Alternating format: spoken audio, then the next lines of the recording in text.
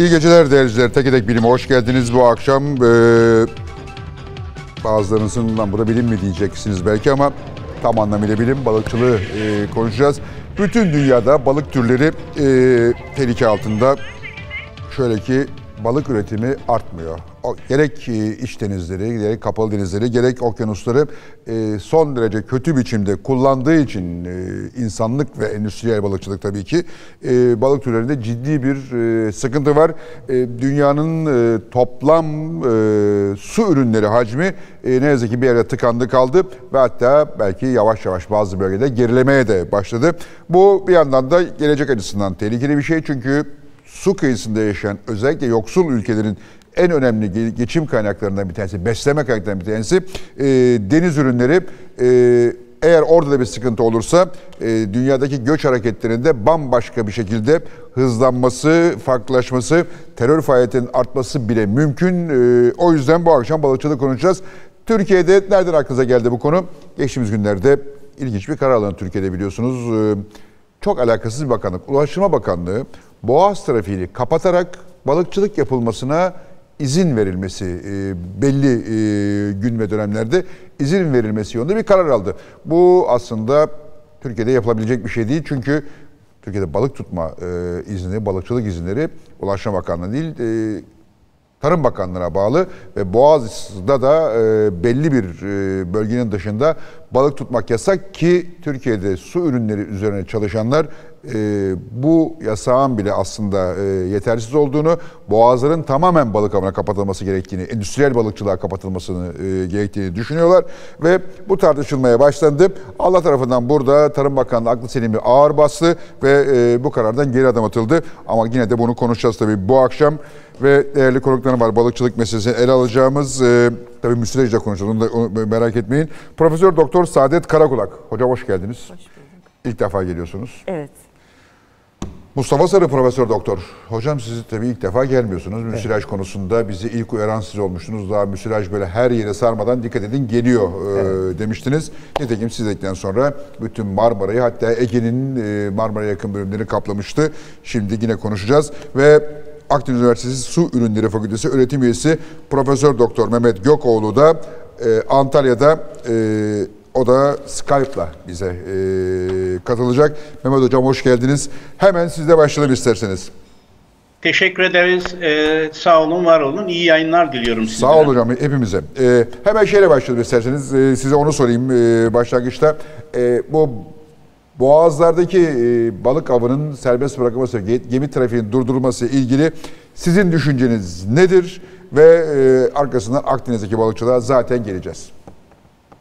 Şimdi e, İstanbul Boğazı balık göçlerinin İstanbul ve Çanakkale Boğazları e, balık göçlerinin en çok e, ve en yoğun görüldüğü yerler. Evet. Zaten e, Boğaz e, gemi trafiğinden dolayı balık göçleri bundan olumsuz etkileniyor. Şimdi e, Boğazı suyun altında ses karadakinin yani hava ortamındakinin yaklaşık 5 kat daha hızlı gider. Ve e, Boğaz'ın bir vadi gibi düşünürsek su içerisini ki öyle zaten suyun altı e, akustik bir yansıma yapacaktır. E, yani 5 kat daha hızlı gittiği için bir de akustik etkisi olacaktır. Boğaz'da bu, e, gemilerden e, çıkan motorlardan çıkan piston sesleri, motor sesleri bundan zaten e, göç yapan balık, balıklar e, olumsuz etkileniyordu. E, üstüne üstlük biz bile bu şekilde e, hareket edersek tamamen e, balıkçılığımızı bitirmeye doğru gideriz. Bu yanlış e, çünkü e, bazı balıkların rahat bir şekilde geçmesi lazım oradan. Göçünü yapması lazım, kışlaması lazım, üremesi lazım. E, kaldırılma kararı iyi bir karardır, ona katılıyorum. Peki hocam, e, boğaz gibi balıkların geçiş yaptığı bir yerde balıkçılık sizce tamamen yasaklanmalı. Bunu savunanlar da var. Kardeşim bu bizim geçim kaynağımız ve bu balık buradan geçip giderse bize ekonomik faydası olmuyor. Biz bu balıklarda mümkün olduğunca fazla yakalamalıyız diyenler de var. Hangisi haklı sizce? Ee, Boğaz'da da yakalamasınlar diyorum. Ee, geçtikten sonra e, Marmara'da, Karadeniz'de, Ege'de yakalasınlar. Boğaz'da yakalamasınlar. Ee, yani e, katılmıyorum o görüşe ben. E, Boğaz e, açık kalmalı hep. Peki hocam şimdi mesela bu Boğaz'daki durumu savunanların e, yani av olması gerektiğini savunanların söylediği bir şey var. Bu seneki palamut bolluğu. Bu sene Evet. gerçekten benim çocukluğumdan beri görmediğim derecede bir palamut bolluğu var.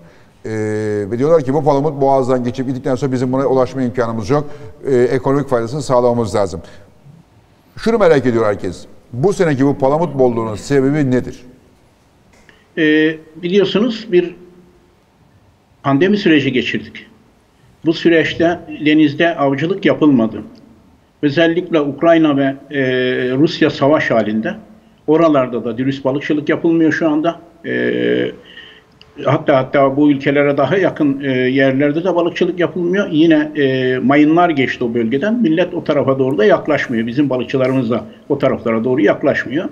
E, diğer devletlerin balıkçıları da o taraflara doğru yaklaşmıyor. Dolayısıyla e, bunların etkisi oldu. Tabii e, bazı yıllarda da e, hava koşulları, iklim, denizdeki plankton durumu e, değişir, bol olur. O dönemlerde de iyi yavru yapar balıklar. E, bu yavrular da e, muhtemelen bu, bu yıla denk geldi.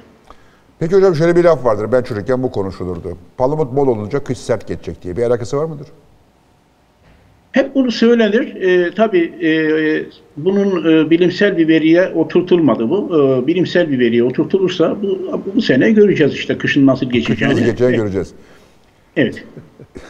Peki yine, yine merak ettiğim için soruyorum. Ee, ne, ne sorarsa da meraktan soruyorum. Hiçbir şey laf olsun sormuyorum da. Ee, dediniz ki iki senelik bir pandemi süreci vardı. Bu sene, geçen sene de e, bahar aylarında e, bu bölgede mayın ve savaş nedeniyle avcılık yapılamadı. Bu artışın nedeni o. Burada ilgimi çeken şu. Yaklaşık bir buçuk iki yıllık bir süre içerisinde yani pandemi iki yıl sürdü. İşte bunun işte bir kısmı da şimdi e, savaş nedeniyle orada avcılık yapamaması. Bu kadar kısa süre içerisinde balık nüfusu bu kadar rasyonel pardon bu kadar fazlasıyla artabiliyor mu? Ee, insanın aklının ermeyeceği olan bu kadar bir sene doğa, iki sene doğanın kendini toparlaması ve balık nüfusunun artması için yeterli bir süre midir? Şimdi e, avlamadığınız sürece, oradaki balığı tutmadığınız sürece o anaçtır ve yumurta bırakır. Bunun biz burada da e, yani Antalya bölgesinde de bunun etkilerini e, geçenler geçenlerde ben o görüntüleri verdim. E, pandemi süreci e, ve e, bir dönem Lagos balıkları avcılığı yasaktı. İki yıl kadar yasaklandı. Daha sonra açıldı balıkçıların şikayeti nedeniyle. Bu sene e, Antalya kıyılarında oldukça bol Lagos yavrusu var. Her taşın altında Lagos yavrusu var. Bunu görüyoruz. Bunlar onun göstergeleri zaten. Yani e, dediğim gibi yakalamadığınız her balık anaçtır. Doğaya yavrusunu verecektir. E, bunun etkileri bunlar. Yani çok hızlı bir şekilde etkisini görürüz diyorsunuz. Tabii çok bir, bir balık e, çok miktarda yavru verir. Yani yavru miktarı çok miktarda balıkların e, dolayısıyla e, doğaya bir anaçtan e, milyonlarca yavru verebilir bir anaç. Bu balık da avlanmadığı sürece doğada dediğimiz gibi anaç olarak üretime katkıda bulunacaktır. Bir- Hocam siz bunda ilgili bir şey söyleyeceksiniz. bir Buyurun. katkı vermek istiyorum. Ee, hedeflediğimiz türe göre değişebilir. Ha. Eğer hamsi için yapılacaksa hamsi zaten ömrü 4 yıllıktır. Bir yıl etkili bir kural alındığında veya yasak getirildiğinde ertesi yıl hamside bir artış olduğunu görebiliriz. Ama balıkların ömrü eğer Uzadıkça- uzun olursa bir orkinozu, kılıcı korumak için e, 10 yıl veya 15 yıllık bir sürece ihtiyaç var. E, Palamut'a gelirsek av miktarları incelediğimizde her 4-5 yılda bir artışın olduğunu görüyoruz. Abi hocam böylesini görmedim. Böylesini uzun zamandır görmedim. Ee, en son 2005 yılında 70 bin ton avcılık yapılarak palamut avcılığı Doğru, 2005 yapılmıştı. Oluyor. 2005 yılından sonra uzun bir dönem göremedik ama bir hep bir dalgalanmalar var. Bunun da nedeni işte balıkların kendini yenileme kapasitesi var. İlk üreme boylarını düşürebiliyor. Yumurtlama periyodunu geniş tutabiliyor. Kendi neslini korumak için yumurta verimini arttırabiliyor. Biz bundan yararlanarak aslında iyi bir balıkçılık yönetimi yaparsak her zaman balık stoklarının artması mümkün. Bu özelliği iyi kullanmamız lazım. Ama son yıllarda eskiden 4-5 yıllık olan de- devirin palamut için artık 7-8 yıl lüferde de daha uzun olduğunu görüyoruz. Bu da bize aslında stokların gitgide azaldığını göstermekte. İşte İstanbul Boğazı için ben ufak bir yorum yapacak olursam İstanbul Boğazı'nda geçmişten günümüze hep avcılık yapılmış. Ama nasıl yapılmış? En eski kaynak bizim için e, 17. yüzyılın ünlü e, gezginlerinden Evliya Çelebi'nin İstanbul Seyahatnamesine bakıyoruz. Eskiden geleneksel avcılık yöntemleriyle avcılık yapılıyormuş. Dalyanlar var, küçük tekneler var ama endüstriyel balıkçılık o dönemlerde yok. Şu, şu anki yapılan endüstriyel balıkçılığın e, balık stokları üzerinde olumsuz etki ettiğini düşündüğümüzde biyolojik koridorda biz biyo, e, balıkların biyolojik ihtiyaçları için göç gerçekleştiriyor. Üreme göçü veya beslenme göç esnasında avcılığı yoğun yaptığımız takdirde balık stoklarına maalesef olumsuz etki yapacağız. Mümkün olduğunca dar bir koridorda avcılıktan ziyade balık geçişini gerçekleştirsin. Balık geniş alana yayıldıktan sonra tüm Marmara Denizi'nin balıkçısının tutmasının daha yararlı olacağını düşünüyorum. Öbürü zaten tuzak yani şimdi şey gibi böyle daracık bir yerden geçerken yok. Hunni'nin önünde kal- ya bunu yıllar önce Rusya'da bir avcılar yapmıştı hocam. Belki bilirsiniz haberiniz vardır. Rusya'da bir grup avcı ördeklerin geçiş yaptığı bir vadiye boydan boya ağ geliyorlar. Ve yanlış hatırlamıyorum ya, yıllar önce olan böyle ya 250 bin ben diyeyim, 50 bin siz deyin tam rakam hatırlamıyorum ama yani 100 binin üstünde olduğunu söyleyebilirim. Ördeği ağlarla yakalıyorlar. O şeyde. Ee, hiç yaptıkları vadinin içerisinde. Şimdi bu da aynı şey. Bu Evet. katliam yani. Evet. Peki hocam şimdi e, bunu size sorayım. E, şöyle bir Palamut'u hemen bir Ha, şey buyurun, Palamut'la tabii, buyurun. ilgili bir şey söyleyeyim. 5 numaralı ben e, Beş. slide'ımı alabilir Mustafa miyim? Hoca'nın hocam? 5 numaralı slaytı arkadaşlar. Şimdi e, e, yani e, sadece palamut değil aslında bizde dalgalanan.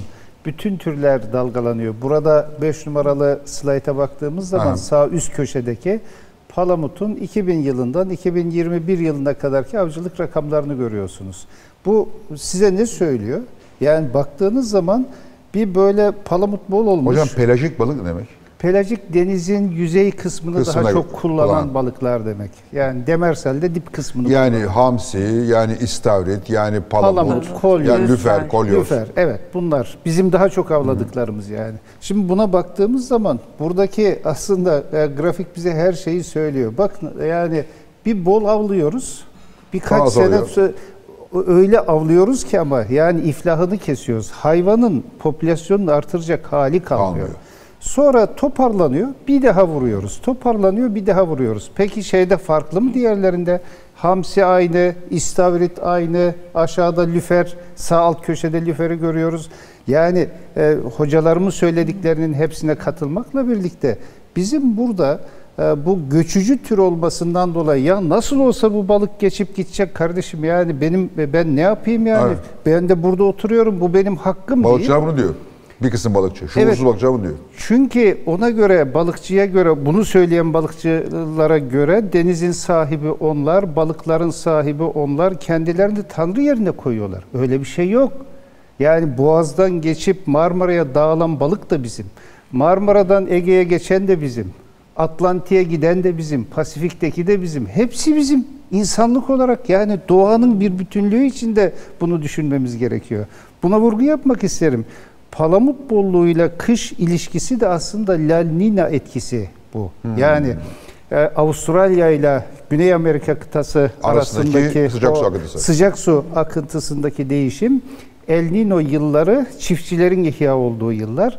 La Nina yılları balıkçıların ihya olduğu yıllar. Çünkü akıntıların yeri değişiyor.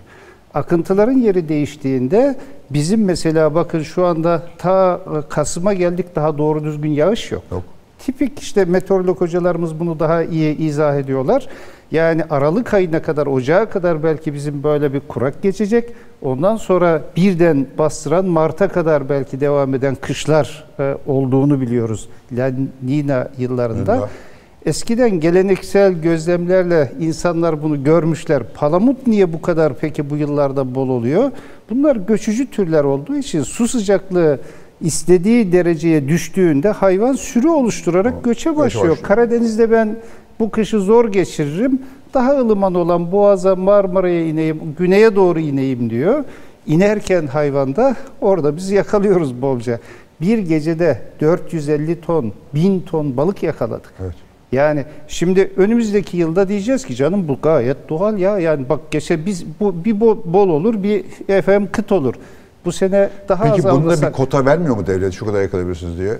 Kota sistemi bizim gibi ülkelerde uygulanan bir sistem değil. Çünkü e, biz denizdeki e, ağların derinliğini daha e, ölçemiyoruz. Yani etki şu anda mesela gırgırların derinliğinin 90 kulaç yasal sınırı. Hadi bir yüreği yeten varsa gelsin beraber çıkalım denize. 90 kulaç gırgır olan bir tane vatandaş bulabiliyoruz mu? Belki vardır bir tane iki tane. O da teknesi küçük olduğu içindir.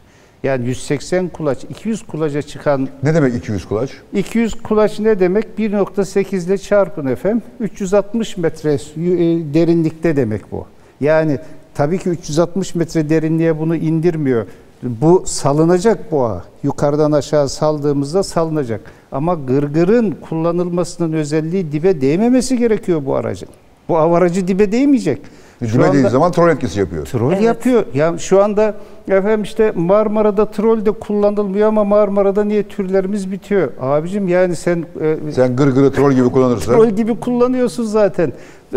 E, şeye ihtiyaç yok ki, trole ihtiyaç yok ki. Dolayısıyla troll ile gırgır arasındaki farkı bir anlatır mısınız? Ben biliyorum ben de izleyiciler bilmeyenler olabilir. Gırgır e, şu e, böyle e, sarı sarı mantarları da e, özellikle İstanbul Boğazı'nda ya da Karadeniz'de, Ege'de kıyıdan baktığımızda bir daire şeklinde çevrilmiş ağlara biz gırgır ağı diyoruz. Onlar daha çok bu Balık pelajikteki etrafını çeviriyor. Evet. Sürü tespit ediliyor. Sürünün etrafı çevriliyor. Sonra ağın altı toplanıyor. Bir tava haline getiriliyor. Getiriliyor. Sonra üstü büzülüyor. Kova gibi oluyor ve kovayla çekiyor yukarı. Kovayı çekiyor ya da hiç çekmiyor şimdi hamside filan. İçine balık pompasını atıyor. Ha. Taşıyıcı tekneyi çağırıyor. Oradan basıyor, Basıyor. e, ambarlara. Bu gırgır. Yani yüzeydeki daha yüzeye yakın olan balıkları avlamada kullandığımız av araçları bunlar. Troll denizin dibindeki balığı avlamak için kullandığımız av aracı. Onun dip trolü ise iki tane büyük kapısı var.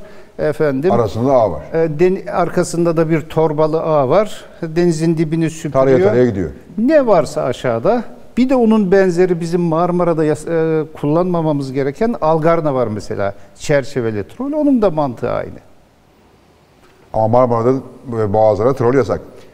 E, iç sularda, Marmara'da, e, Boğazlar'da İstanbul, trol Çanakkale'de. avcılığı yasak. 1380 sayılı su ürünleri kanunu madde 24. Ama algarna serbest Marmara'da. Serbest. Onu çünkü trolden saymayıp kanuna aykırı tebliğ ile serbest etmişiz. Tebliğ kanuna aykırı olabilir mi? Olmuş. Reklam arası. Bir, hocam bir reklam için durayım sonra devam edeceğiz.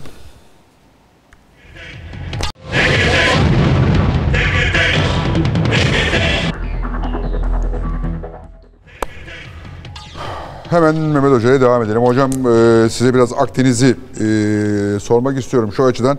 E, şimdi Akdeniz'de siz dediniz ki e, Lagoslarda, Laoslarda, e, dip balıklarında artış gözlemlendi. Onlar halbuki uzun yaşayan balıklar bu kadar kısa sürede artması bile e, son derece ilginç ama şimdi serbest bırakıldı. Bir yandan da Ege ve Akdeniz'de özellikle şimdi birkaç seneden beri bir istilacı tür paniği var hocam. İşte balon balıkları, aslan balıkları, bir takım e, söylenen e, deniz anaları var ve benim son zamanlarda son iki yıldır çok fazla e, dikkatimi çeken dev uzun e, dikenli e, deniz Deniz kestaneleri var. Bunların e, istilası ne anlama geliyor? E, bu küresel ısınmayla aşağıdaki suların çok fazla ısınmasından kaynaklanıp e, bu canlıların daha alışık oldukları dereceler için yukarı çıkma, kuzeye gelmeleri mi yoksa başka nedenle mi? Nedir bu istilacı türler? Riski nedir? Evet, e, tabii istilacı türlerin neden göç ettiğine bakmak lazım. Öncelikle e, bilindiği üzere Nil Nehri üzerine e, Aswan Barajı yapıldı ve Mısır'ın topraklarını e, Nil e, artık sulamaya başladı. Dolayısıyla eskiden Nil'den çok miktarda bir su e, yükü geliyordu E, ve akıntılarla bu Süveyş kanalının ağzına doğru sürükleniyordu bu su. Ayrıca e, Süveyş kanalının açıldığı güzergaha baktığımız zaman da güzergah Tuz göllerinin üzerinden açıldı. e, Süveyş kanalı. Dolayısıyla e, tuz göllerinde de yüksek oranda tuz vardı. Bu tuzlar süreç içerisinde yıkandı. E, Nil'in suları e, Süveyş kanalının ağzına doğru e, sürüklendiği için o bölgede tuzluluk düşük. Önde de yani kanalın içerisinde de yüksek tuzluluktan kaynaklanan bir tuz bariyeri vardı. E, süreç içerisinde bu yıkandı. Daha sonra e, Aslan Barajı yapıldıktan sonra da e, Nil'in suları artık düşük tuzluluktaki bariyeri de, de ortadan kaldırdı. Küresel ısınmada bir gerçek. E, bunu hepimiz görebiliyoruz zaten. Deniz suyun sıcaklığında da bir artış söz konusu. Ayrıca yine tüm Akdeniz'e akan tatlı su kaynaklarını biz ne yaptık? Bunların büyük bir kısmının üzerine barajlar yapıldı. Eskiki gibi artık Akdeniz e, su e, tatlı su alamıyor. E, dolayısıyla bar, bariyerler ortadan kalkmış oldu. E, kalkınca göçler başladı. Şimdi e, giren türlerin e, balık türü olarak ben, bizim Antalya'da kay, kaydettiğimiz tür Antalya Körfezi'nde şu ana kadar kaydettiğimiz tür 70'tür. Yani bunların çok büyük bir kısmı e, artık popülasyonunu oluşturdu. Akdeniz'in balığı haline geldi. E, İskenderun'a doğru gittiğimiz zaman oradaki balık tür sayısına baktığımızda bu yaklaşık olarak yüze yaklaştı o bölgede. Hmm. İsrail'de yüzü geçti. E, binin üzerinde de şu anda Akdeniz'e çok hücreli organizmanın e, Süveyş kanalı aracılığıyla Akdeniz'e girdiği bilim adamlarınca sürekli olarak söyleniyor.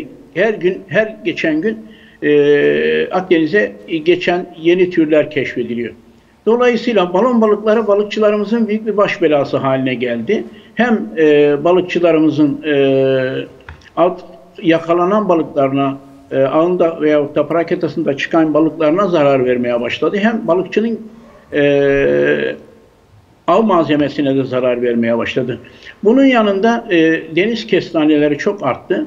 E, korkarım inşallah olmaz. Kıyıda bir müddet sonra kayalık bölgelerde de artık denize giremeyecek şekilde hızlı bir şekilde çoğalma söz konusu ve kuzeye doğru bu yayılım devam ediyor. Yani e, üst taraflara doğru Marmara'ya doğru Marmara'ya da girdiğini biliyorum deniz kestanesinin. Dolayısıyla bunlar var. Ayrıca e, deniz anaları söz konusu. E, deniz anaları belli bir dönemde özellikle bizim bu açıklarımızdan e, Mayıs gibi, Nisan, Mayıs gibi büyük geçişler oluyor. Yani İskenderun körfezinde, İsrail kıyılarında, Suriye kıyılarında gelişip büyüyen deniz analarının açıktan akıntılarla geçişi var. Yörüngeden çıkan, ana akıntıdan çıkan deniz analarının kıyılarımıza vurduğunu biliyoruz. Allah'tan yani turizm sezonuna denk gelmiyor bu. Dolayısıyla e, troll ağının yahut da bir balıkçının ağında çıktığı zaman e, balıkçı bunu ağında bir kütlesel e, yığılma söz konusu yani deniz anası kaynaklı bir e, troll ağını düşündüğümüz zaman onu çeken bir motor var. Bir kütleyi çekiyor. Ayrıca bu e, deniz anaları ağlardaki seçiciliği de etkiliyor. E, buna benzer etkiler var. E, yine e, kıyılarımızdaki kayaların üzerlerinde e, çok miktarda e, Pasifik midyelerinin çoğaldığını görüyoruz. Balıkçımız artık ufak balıkçımız yani uzatma ağ atan balıkçılarımız kıyılara ağ atamaz oldu. Bunun nedeni attığı zaman o ağlar oraya takılıp yırtılıyor ve, veyahut da o ağ orada kalıyor. Yani hayalet ağ şekline dönüyor. E, Birçok olumsuz etkisi var. Giren türlerin çok büyük bir kısmı ekonomik olarak değerlendirilmiyor. Değerlendirilmediği için de sürekli balıkçıya bir zarar verme, ekosisteme zarar verme var.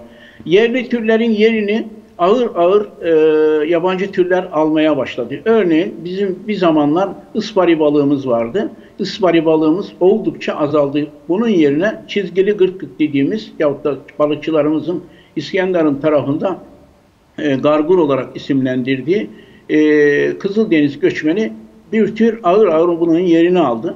E, balıklarımızın yerli türlerin ötelendiğini görüyoruz. Yani daha soğuk sulara, daha yukarılara doğru e, ötelendiğini görüyoruz. E, yine balıkçılarımızın e, yakıt gücünü arttırmaya başladı. E, ekonomik olarak da bir zarar vermeye başladı bu türler.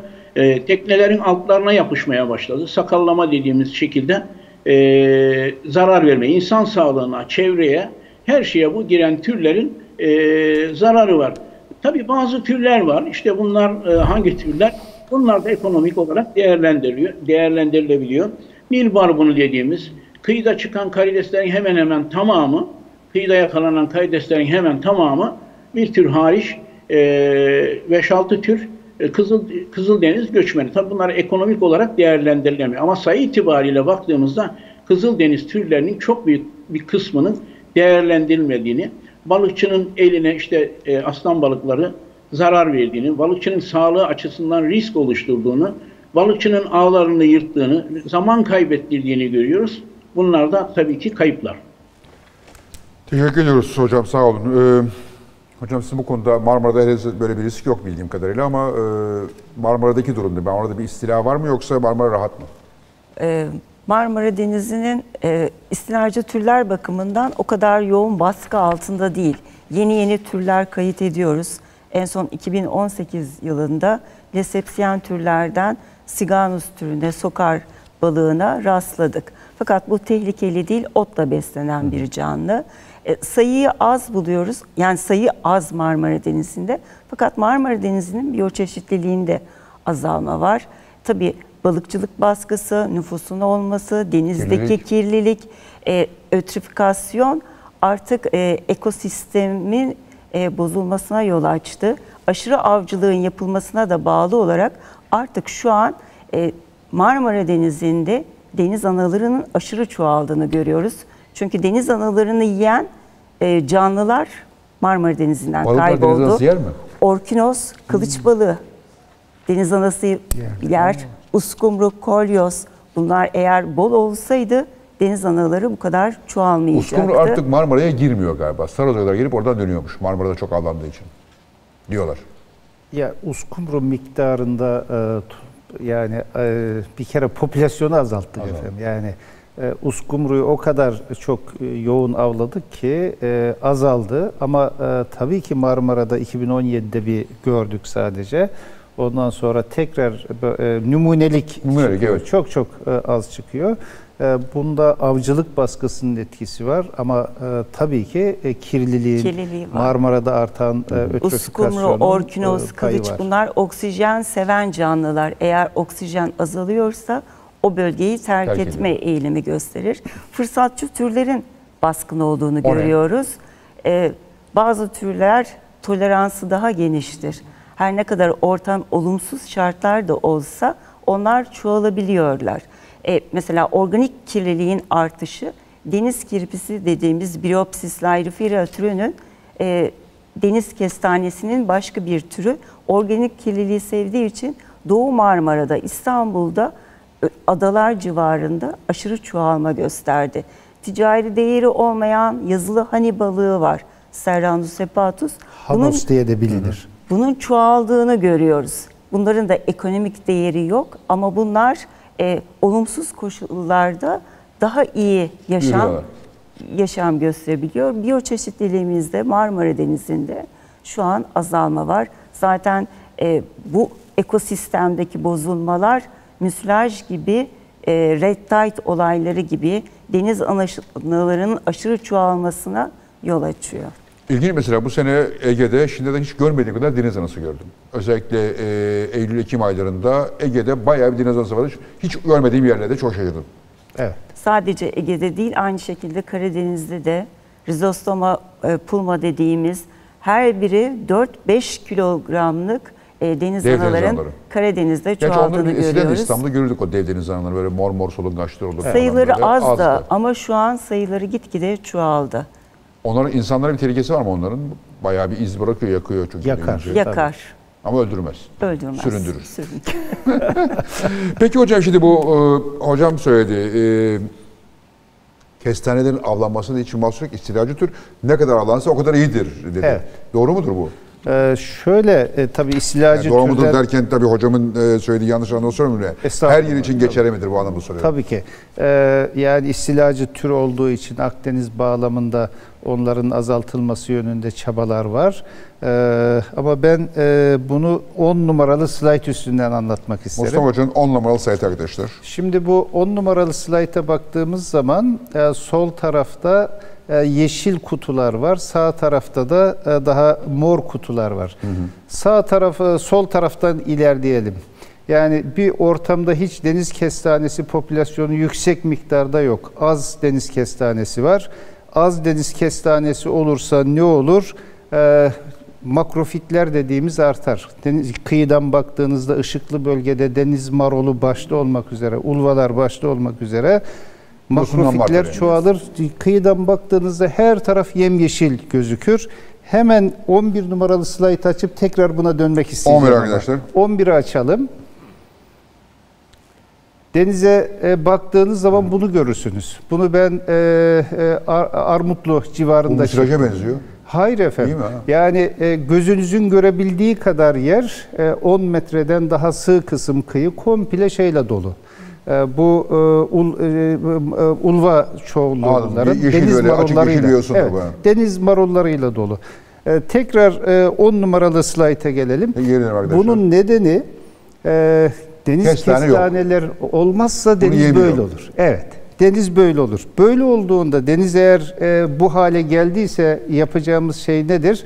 Mırmır, karagöz, çipura gibi türlerin e, şeyini e, avcılığını artırmamız lazım demektir bu. E, eğer varsa ortamda e, biz burada topladığımız için Niye böyle mırmır bunlar? Bunlar yerler çünkü. Dipteki bu şeyleri e, deniz kestanesini tüketen e, türlerdir. Onların avcılığını kırmızı ile işaretlediğim yer müdahale olarak bunların avcılığını azalttığımızda balıklar e, tekrar denizdeki popülasyon düşeceği için e, kestane çoğalır. Artar. Onlar deniz marollarını tamamen besin zincirine bağlı yani. Tamamen olay besin piramidi ve besin zinciri ile ilgili. Ama bizim burada şu anda çok olmasının e, nedeni e, iki tane. Birisi müsilajdan sonra zaten organik yükümüz fazlaydı. Müsilaj e, o kadar yoğun çöktü ki onun parçalanmasıyla o organik yük iki katına çıktı. Diğer taraftan e, biz böyle e, tam bununla uğraşırken e, Marmara Denizi'nde şeyi serbest ettik kestane avcılığını, deniz kestanesi avcılığını serbest ettik. Biz Halbuki müsi- kestane dibi temizliyordu. tabii ki tam şu anda hiç dokunmamalıydık. E, bilim kurulu olarak duruma biz hemen bir raporla hocalarımızla beraber itiraz eden bir rapor hazırladık, izah eden gönderdik bakanlığa hemen durdurdular. Ama bu esnada o balıkçıların hepsi deniz kestanesi toplamak için teçhizat aldı, borçlandı. Hiç deniz kestanesi avcılığı yapmayan bir sürü insan bu işe angaja oldu. Hayda. Sonra da biz düştük onların peşine. Sen denizdesin, avladın mı, avlamadın mı? Kaçak bir şekilde üzgünüm halen devam ediyor. Sağ tarafa bakarsak bu da deniz kestanesi popülasyonu çok yüksek olur. Yani eğer siz sürekli balıkları avlarsanız, mırmırı, karagözü, çipurayı bunları yok ederseniz, çok çok avlarsanız deniz kestanesi popülasyonu yükselir. Deniz kestanesi popülasyonu yükseldiği için onların makrofitleri yerler ve çöl gibi alanlar oluşur. Ee, şeyde aşağıda, Aşağıda. çöl gibi alanlar oluşur. Ee, o zaman da e, yapılması gereken şey e, bu balıkların avcılığını bizim azaltmamız lazım. Toplamak değil yani burada. Doğal döngüden Doğal bahsediyorum. döngüden. Akdeniz'deki karşılaştığımız durum tamamen orada istilacı bir türün gelmesi söz konusu. Onu da ne toplamakla işte Mersin'de bir uygulama yapıyorlar Evet. da e, Sorunlar. Fakültesiyle. Evet topluyorlar. E, iki ay sonra gittiklerinde daha önceki topladıklarından Daha daha, fazla. fazlasıyla karşılaşıyor. Ekosistem dinamik bir sistemdir. Bu, yani öyle Ya toplamakla orada onları yiyen balıkları artırmak lazım. onları artırmamız lazım. Doğal düşmanları neyse. Peki o ak- yeni gelenler bu kadar bu kadar dikenli olan onu hangi balık yiyebilir ki? Ee, yani onların yavrularını, larvalarını yiyen e, balıklar, organizmalar var mutlaka. Onları bizim e, korumamız lazım. Mesela balon balıklarını, aslan balıklarını lahozlar, orfozlar yiyor. Bizim onları korumamız lazım. E, tam o, biz e, onların avcılığını e, şey yaptık, serbest, bıraktık. Yanlış yaptık. Yani doğayı e, efendim saat gibi düşünelim böyle. Bir böyle hassas saat gibi düşünelim. Çarklardan biri bozuldu mu ama bütün saat duruyor. Bütün saat durur. Yani onu biz şimdi kocaman elimize bir tornavida alıyoruz. O hassas saatin çarkları bozuldu, durdu saat. Bir tornavida alıyoruz. Orasına dürtüyoruz, burasına yapıyor. Bunlar çözüm bulamayız. Yani deniz kestanesi Doğanın kendi çözümünü üretmesini, korumasını sağlamamız lazım. sağlamamız lazım. Ancak deniz kestanesinde başka bir üzülerek ifade edeceğim e, başka bir durum var. 13. slaytı rica ediyorum. 13 numaralı slayt. Yani şimdi deniz kestanesi avcılığı durduğu yerde patlamadı. Marmara'da ya da Ege'de, Akdeniz'de durduğu yerde patlamadı. E, Science'da yayınlandı efendim. 2006 yılında e, yayınlandı. E, deniz kapkaççılığı deniyor buna. Ne demek hocam? Deniz kapkaççılığı şu demek. e, 13 tane şirket var. Bütün dünyadaki deniz kestanesi ticaretini şey, yöneten. Bunlar e, önce Pasifik'te Japonya açıklarında başladılar 1970'li yıllarda. Orada bittikçe genişlediler. Orada bittikçe genişlediler. Şuradaki haritaya bakarsak yıllar yazıyor üstünde. E, çizginin e, Akdeniz'e geldiğini görüyoruz. Akdeniz'den şimdi Marmara'ya daha yukarıya doğru çıkmaya devam edecek. Çünkü Bu e, kadar büyük mü deniz kestanesi'nin ekonomik değeri? e, şöyle e, şusi e, yani yapımında bir çeşit e, şuşi e, yapımında kullanılıyor bu. E, Japonlar ve yani. afrodizyak olarak Afrodizyak. e, Afrodizyak. kullanıldığını biliyoruz. Bizim ülkemizde tüketilmiyor ama İtalya'da, Fransa'da, Japonya'da Yo bizde de tüketiliyor bayağı bir tüketim var ya baktığınızda Ege kıyılarında yani falan. e, istatistiklere girdiği Evet, kadarıyla herhalde, düşük evet, daha görüyoruz düşük tabii. ama çoğunluğu ihraç ediliyor. Bu e, yani durduğu yerde e, olmadı. Bunu e, bir küresel e, ticaret ağı e, teşvik ediyor. Ona vurgu yapmak istiyorum. Bu kapkaççılığı aslında şeye benzetebiliriz. Patates üretimine benzetebiliriz. Bir arkadaşım var benim sevgili Şafak Nart. Bu şu anda uzun yaylayı hep vurguluyor. Yani Niğde'de insanlar patates yetiştiriyorlardı. Şimdi gittiler Şarkışla'nın yaylalarında hiç dokunulmamış arazide su var. Oranın topraklarında şimdi patates yetiştiriyorlar. Bir müddet sonra taban suyu seviyesi düşecek, suyu tüketecekler. Ondan sonra başka yere gidecekler. Bir kapkaççılık türü bu yani. Kapkaççılık sadece çantanızı alıp kaçma, kaçma kaçana verilen bir isim değil. İşte e, deniz kestanenizi çalıyor. Bu aslında deniz kestanesinin bu şekildeki avcılığı bütün ekosistemi bir bütün olarak etkiliyor. Ekosistemin sağlığını korumamız gerekiyor. Ee, e, ne olur sağlığını korumazsak 16 numaralı e, slaytı 16 ben arkadaşlar. rica edeceğim. Şimdi bakın burada besin piramidini görüyoruz. Bu besin piramidi en tabanda e, fitoplankton var, bitkisel plankton. Onun üstünde zooplankton, küçük balık, orta boy balık, en üstte de tepe karnivorlar dediğimiz köpek, Köpek balığı. balığı gibi, efendim e, orkinoslar gibi e, tü- tüketiciler var. Şimdi ekosistemin sağlığı bozulduğunda bu piramit yayvanlaşıyor. Yayvanlaştığı zaman bizim aslında avcılıkla yaptığımız şey bu. Bunu yayvanlaştırıyoruz. Yani e, diyelim ki şurada e, dört buçuk filan olması lazım bu. E, biz bunu şu anda 2.8'e düşürdük. E, şey e, 18 numaralı slaytı rica ediyorum. Şimdi sağlıklı bir deniz ekosistemi e, bu gördüğümüz grafiğin e, sol tarafındaki gibi. Yani denizin dibi renkli, e, makrofitler, süngerler, efendim anemonlar, e, deniz yıldızları, küçük balıklar, orta boy balıklar, en yukarıda orkinos gibi, kılıç gibi balıklar. Deniz böyle sağlıklı çalışıyor. Hemen e, o, e, 19 numaralı slaytı rica ediyorum. O, şimdi buraya baktığımız zaman e, o sağlıklı olan kısımdan sağa doğru gittikçe ekosistem bozuluyor. Şu anda bütün dünya denizlerini ve okyanuslarını ortadaki kısım olarak düşünebiliriz. E, bir sonraki slide, o e, 20. slide lütfen. Sağlıklı. Orkinos var, kılıç var, denizin dibi canlı, örtü, bentik organizmalar bol. E, 21. slide. 21'e geldiğimizde bakın şimdi burada şeyler azaldı. Ee, yukarıdaki orkinos yok, kılıç yok. Aşağıda denizin dibi bozulmaya başladı ve elimizde kalanlar e, aşağı yukarı e, e, küçük pelajiklerle orta boy balıklar. Küçük pelajikler kimler? Hamsi, istavrit, efendim sardalya, çaça gibi türler. Ve olabildiği kadar az işte hemen onun üstünde uskumru, palamut gibi türler. Nerede diğerleri? Kılıç nerede? Orkinos nerede? Onlar yok. Çünkü onları tükettik. Ekosistem yani şey piramit Piramidin ucu gitti. piramidin ucu gitti. Ee, bir sonraki slide 22. slide. 22. slayta geldiğimizde burada aslında gelecek ekosistemimiz böyle. Müsilaj yaşadık ya biz Marmara'da. Aslında gelecekte bütün denizlerdeki olası e, ekosistem e, durumunun bir e, simülasyonunu gö- gördük biz orada. Tam bir canlı simülasyon oldu.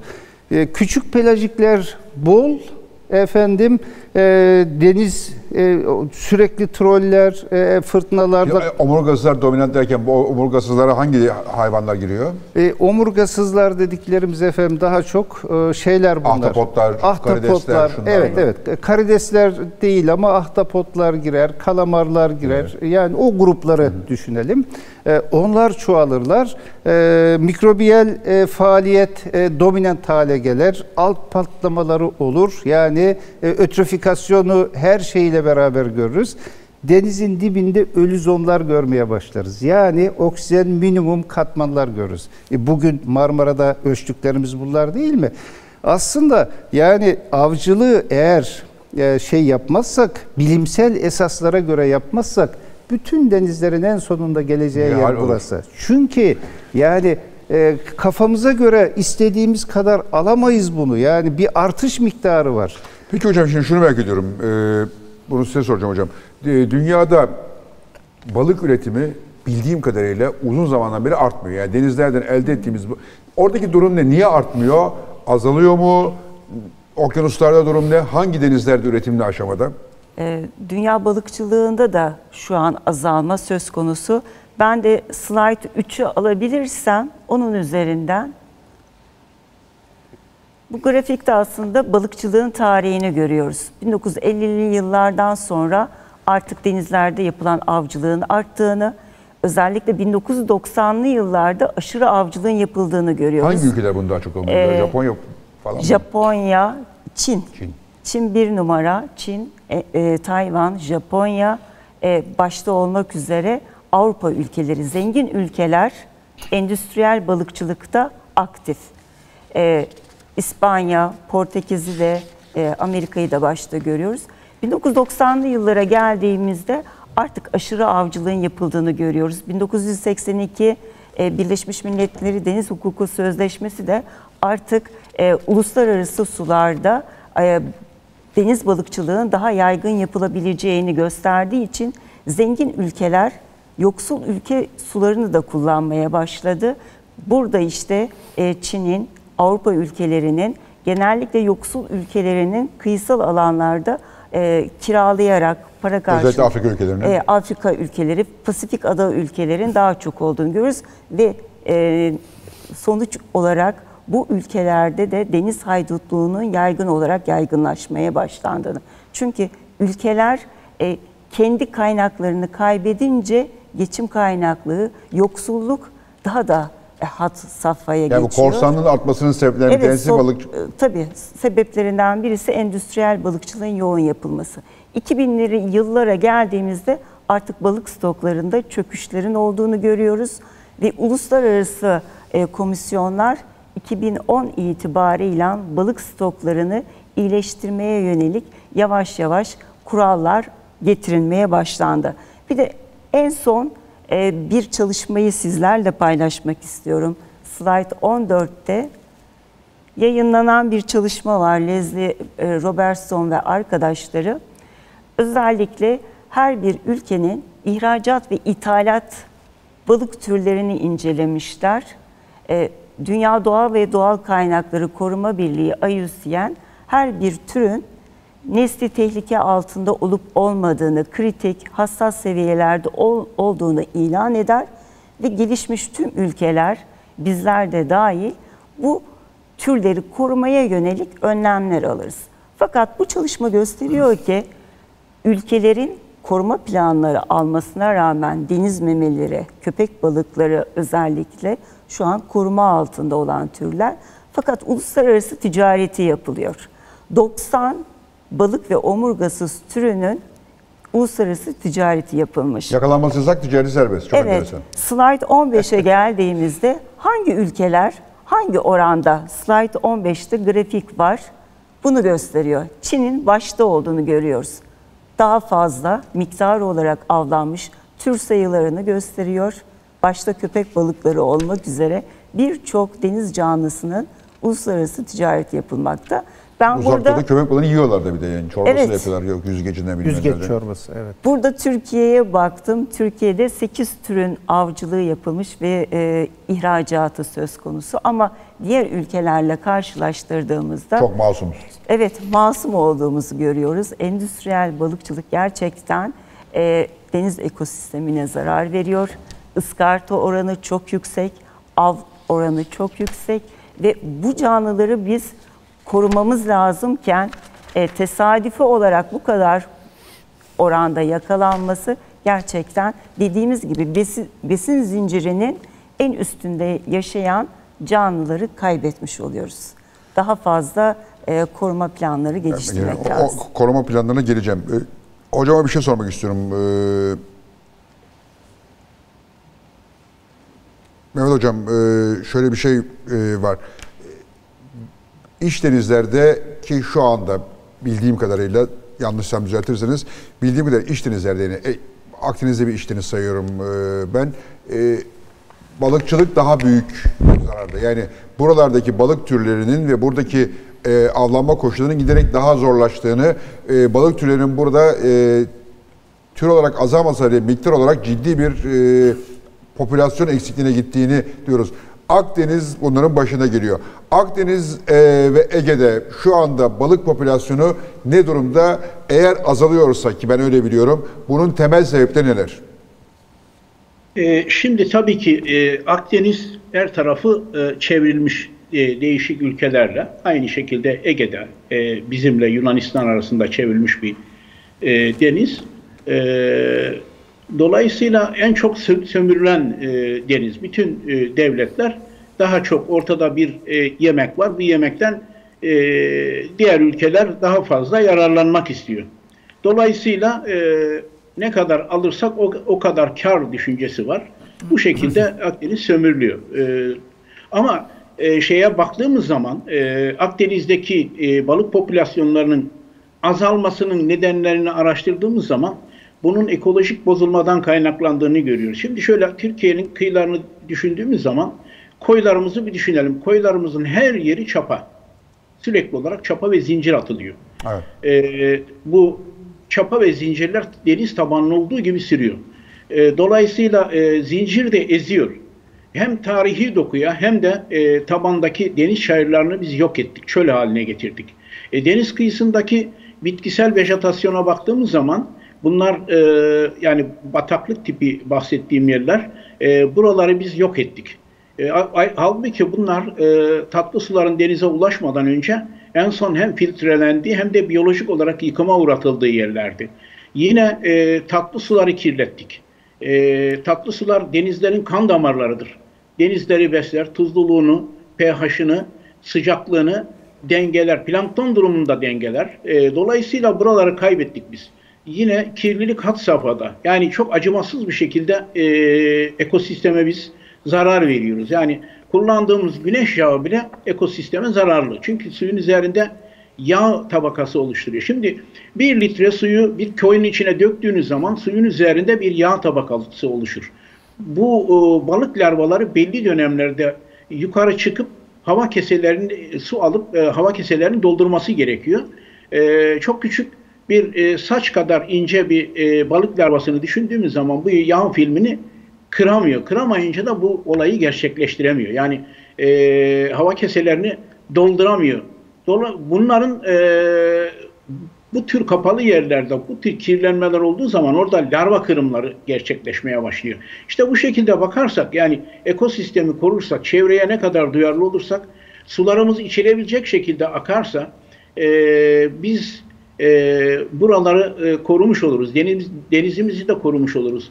E, genellikle e, nehir ağızları yavruların girip beslendiği, e, büyüdüğü, serpildiği yerlerdir.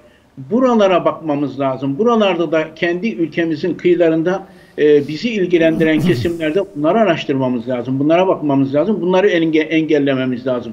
Dalyanları belli dönemlerde hep almak, hep almak, hep almak e, biraz da vermemiz lazım. Ben be, e, kıyılarımızda şöyle baktığım zaman Akdeniz kıyısında koruma alanlarının olmadığını görüyorum. Yani sürekli sömürüyoruz biz bu alanları. E, belli yerleri... Hocam özür Na- lafınızı geçiyorum. Dalyan sayıları da büyük artış yok mu ya? Dalyanlar bir de çok ince ağlar yapılıyor. Çok küçük balıklar da yakalanmıyor mu orada? Tabii e, bunların belli dönemlerde nadasa, nadasa bırakmamız lazım. Dalyanları kapılarını açıp e, en azından münavebeli olarak örneğin bir sene yumurtalıktaki dalyanı bırakıp doğayı e, anaç olarak zenginleştirsinler. Ertesi sene Antalya'daki Beymelek dalyanını örneğin bırakmak e, buradaki yetişmiş balıkların doğaya anaç olması olarak dönmesini sağlamamız gerekiyor. Ee, avcılık e, yasakları yeniden bir gözden geçirmemiz, e, üreme dönemlerine bakmamız gerekiyor. Bunlara baktığımız zaman, bunları düzelttiğimiz zaman ekosistem ağır ağır kendini toparlayacak. E, turizm amaçlı teknelerin e, hani turizm yapılmasın e, burada yanlış anlaşılmasın bu da olacak turizm de olacak ama kurvar dışına bu teknelerin çıktığını e, görüyoruz. Yani Antalya'daki bir teknenin Sidi'ye doğru gittiğini görüyoruz. Gitti, bu teknenin e, giderken yüksek volümlü ve e, süpersonik çalışan bu teknelerin pervanelerinin çarptığı balık larvasını e, deniz canlısını hayal bile edemiyorsunuz. Yani o çarpılma nedeniyle onların çoğu ölüyor zaten. E, dolayısıyla yani e, lüzumsuz bu tür e, gidiş gelişlerden veyahut da e, kurvar dışına çıkmalarını önlememiz gerekiyor. Ayrıca çok yoğun bir e, gürültü deniz içerisinde gürültü var. Ben zaman zaman dalıyorum onları kaydediyorum. Sesleri de kaydediyorum ben. E, buraya balık yanaşmaz. Yumurta bırakacak balık buraya yanaşmaz bu sesi duyduğu zaman. E, yahut da e, hayvanın e, şeyini değiştiriyor. Yani temelli yumurta bırakmaz. E, dolayısıyla bu, bu etkiler e, çok baskın kıyılarımızda. Kontrolsüz bir şekilde yapılıyor her şey. Karadeniz balıkçılığını da aslında konuşmamız lazım Fatih Bey. Çünkü bizim Karadeniz e, en verimli denizimiz. Evet denizimiz diyebilir. E, diğer ülkelerle karşılaştırdığımızda av miktarların %75'ini 80'ini Türk balıkçısı avlardı. Fakat en son 2021 yılındaki FAO'nun raporuna baktığımda gerçekten çok Dünya şaşırdım. Gıda Gütümü. E, bizim av miktarlarımız %57'ye kadar gerilemiş. E, nedense Gürcistan, Abaza gibi ülkelerin av miktarlarının arttığını görüyoruz. Çünkü artık bizim balıkçı filomuz Gürcistan, Abaza'ya giderek orada hamsiye avlamaya başladı. Nedeni e, hamsi bildiğiniz gibi Ukrayna sularında üreme yapar. Havaların soğumasıyla. Kasım ayında Türkiye sularına iner ve Nisan ayına kadar eskiden avcılığı gerçekleşirdi. Fakat son yıllarda bir veya iki ay avcılığı ülkemiz sularında gerçekleşiyor. Bizim sularımızı terk ederek hamsi Niye? Gürcistan'a gidiyor. alandığı için mi? Sebep, sebeplerinden birisi aşırı avcılığı geçelim. Artık nehirler eskisi gibi denize akmıyor. Akmıyor. Tuzluk Nehirler e, besin elementlerinin zengin olduğu e, bölgelerdir ve o, bölgelerde hem balık daha çok beslenir. Bu şeylerden hem dolayı mı? Yapılan santrallerden dolayı mı? HES'lerden. varlığı artık bence e, bölgemizde artık hamsi uzun süre kalmıyor. Gürcistan Abaza'ya gidiyor ve bizim balıkçı filomuz o bölgeye giderek avcılık yapılıyor. Yine stoklara zarar veriyoruz. Ve bu çok ciddi çünkü e, şu an hem Avrupa Birliği hem GFCM Akdeniz Genel Balıkçılık Komisyonu Karadeniz'de ilgileniyor ve yakın gelecekte Karadeniz'deki balıkçılıkta avcılık kotaları paylaşılacak ve bizim av miktarlarımız azaldıkça avcılık kotamız düşecek. Gürcistan gibi ülkelerin e, avcılık kotaları artacak. Peki Türkiye hiç bir üründe kota uyguluyor mu balık balıkçılıkta? E, şu an orkinozda, kılıçta, kalkan balıklarında e, kota uygulaması var. Sebebi de biz iki komisyona üyeyiz. Atlantik Ton Balıkları Koruma Komisyonu, AYKAT, e, orkinoz ve kılıcın balıkçılık yönetimini bunlar düzenlediği için avcılık kotalarını bunlar belirliyorlar. Uluslararası komisyon.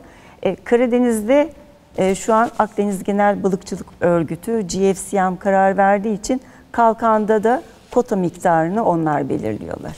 Onun dışında hiçbir balıkçılık kaynağında avcılık kota uygulamamız yok. Peki Mustafa Hocam şimdi Saroz'dan bahsettik az önce. Ee, Saros'un biliyoruz ki balıkların üretisi açısından kıymetli bir bölge. Evet. Buraya bir boru hattı yapılıyor şu anda. Bu boru hattı nasıl etkiler? Çünkü Saros aslında deniz trafiğinin çok yoğun olmadığı, korunaklı ve balıkçılık açısından da sizin söylediğiniz zengin. tatlı su kaynaklarının da çoklukla e, aktığı sakin bir bölge.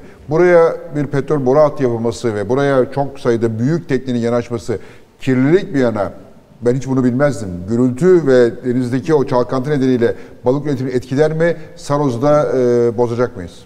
E, Saros çok kıymetli bir alanımız bizim aslında. Yani bırakın oraya boru hattı yapmayı, oraya büyük teknelerin yanaşmasını sağlayacak bir liman yapmayı. Bizim çoktan orayı bir akvaryum gibi koruma Almamız altına lazım. almış olmamız lazımdı. Almadık. Şimdi bu yanlış bir uygulama. Yani de, e, böyle e, bazı e, biz hep ekonomi esaslı düşünüyoruz.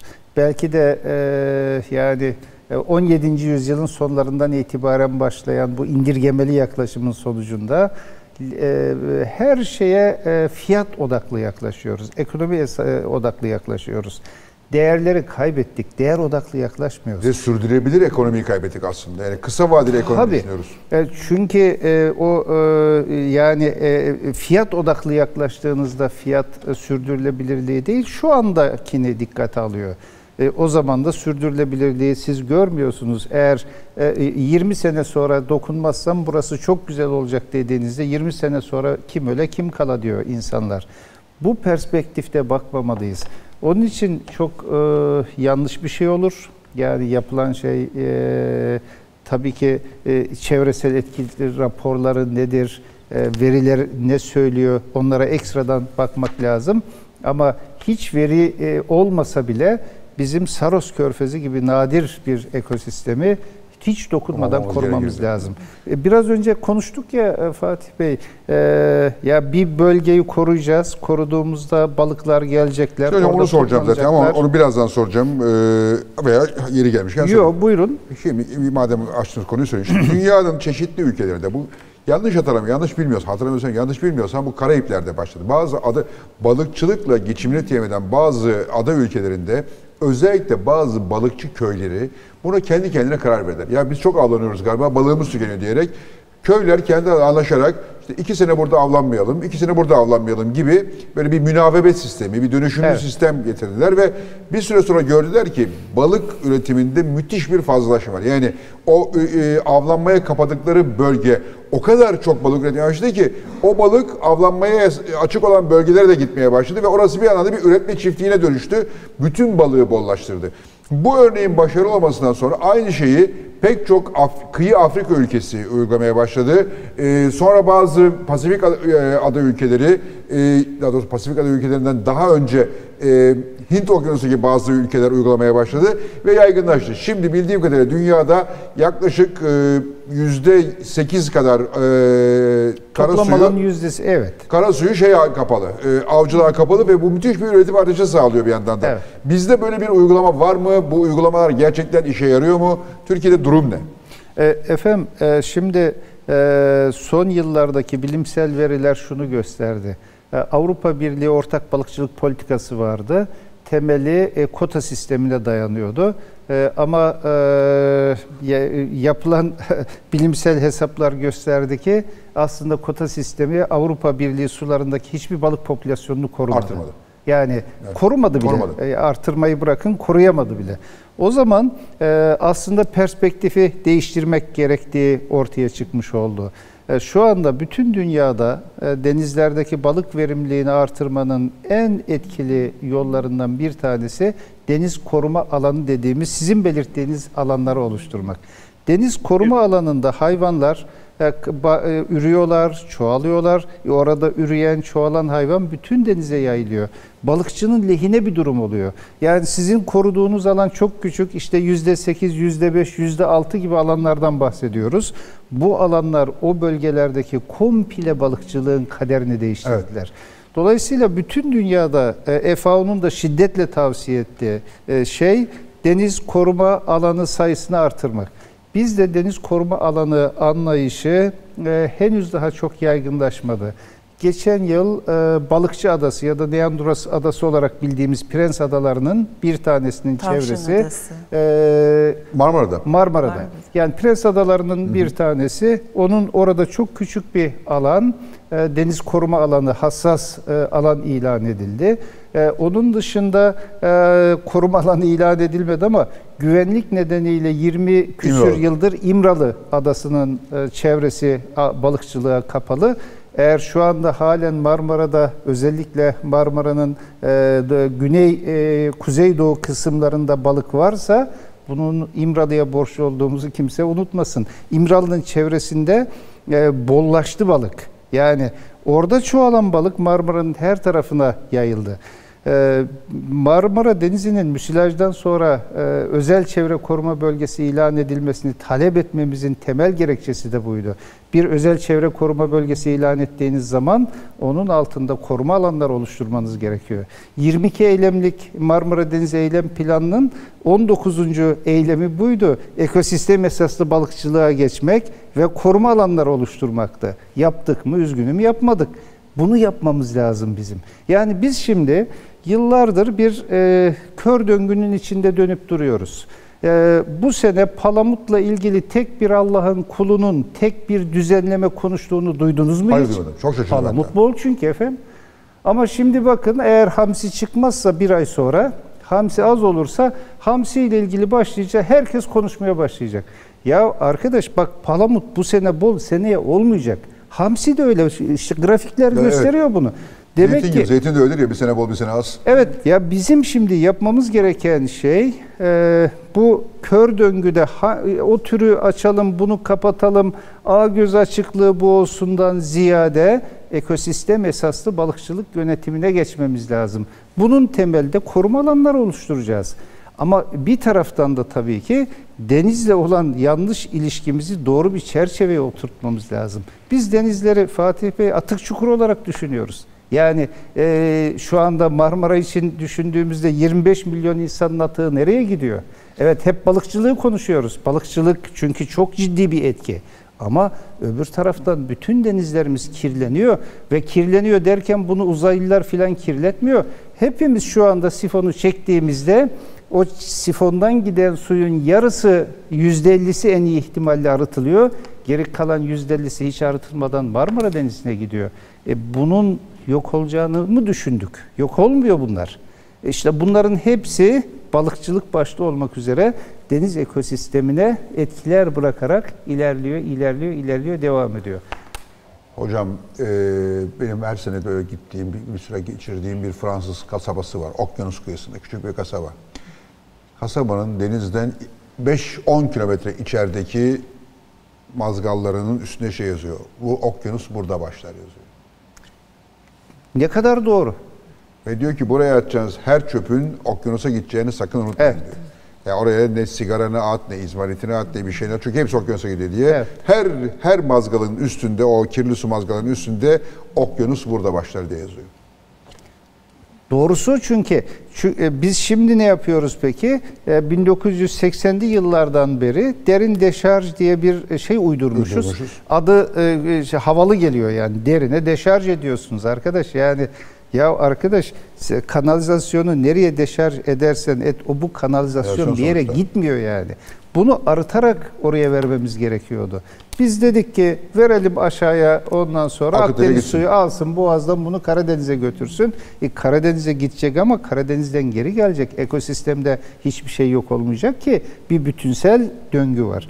Onun için deniz koruma alanları bizim için hayati. Yani Ege'de çok e, Bir mesela kıymetli- Türkiye'de bir sürü milli park var. Evet. Hiç deniz milli parkımız var mı? Yok. işte olması lazım. Deniz Gö- milli parklarımızın Gökçeada'da olması küçük lazım. bir milli deniz milli parkımız var. Milli park olarak deniz rezervi olarak ilan edildi hocam. Milli park adıyla ilan edilmedi. Evet. Deniz rezervi. Onun o toplantıda vardım. deniz kaplumbağası, Akdeniz foku için e, ufak da olsa koruma alanlarımız var. Ama mesela nesli tehlike altında olan, kaybolan artık Mersin balıklarını korumak için hiçbir koruma alanımız yok. Karadeniz'de nesli tehlike altında. Şu an tek tük görülüyor. Avcılığı yasaklandı. Bizim bu bildiğimiz Hazar Denizi'ndeki Mersin balıkları. Evet. ülkemiz suralarında eskiden avcılığı yapılan tür artık kayboldu. Onu korumak için hiçbir önlem almadık. Mutlaka Karadeniz, Marmara'da daha fazla deniz koruma alanları olması gerekiyor. Peki e, Mehmet Hocam'a şunu sormak e, istiyorum. Hepinize soracağım bunu. E, hocam çok yoğun biçimde e, özellikle Ege e, sularında balık çiftlikleri var. Bu dünyanın başka ülkelerinde de var. Ama Ege'de oldukça e, yoğun. Bunlar özellikle başlangıçta kıyıya çok yakın yerlerdeydi. Daha sonra yapılan bir e, yönetmelik düzenlemesiyle bunlar biraz daha açığa e, çekildi. Bu deniz çiftlik, balık çiftliklerinin e, ekolojik e, dengeye verdiği bir zarar var mı? Bir katkı var mı? Bunlar, şimdi mesela şuna bakıyorum ben, bu balık çiftliklerinin çevresinde aslında bir yandan da ciddi bir balık popülasyonu oluşuyor. Çünkü hem oraya atılan yemlerden hem de kaçan balıklardan e, beslenmek isteyen bir grup yaban balıkları diyeyim e, oralarda toplanıyorlar ve bu bir nüfus artışına sebebiyet veriyor orada. İşte orkinoslar, kılıçlar falan da o bölgede geliyorlar. Ama bir yandan da bunların deniz dibi yaşama zarar verdiği, e, yemlerinin e, sıkıntı yarattığı gibi iddialar var. E, bu konuda ne düşünüyorsunuz? Zararlı mı, faydalı mı? Şimdi şöyle, e, her yapılan etkinin, e, yani her yapılan aktivitenin mutlaka bir etkisi var. E, özellikle kaldırma kapasitesini bakmak lazım. Yani e, bir yerin kaldırma kapasitesini hesap edip ona göre e, oraya izin vermek lazım.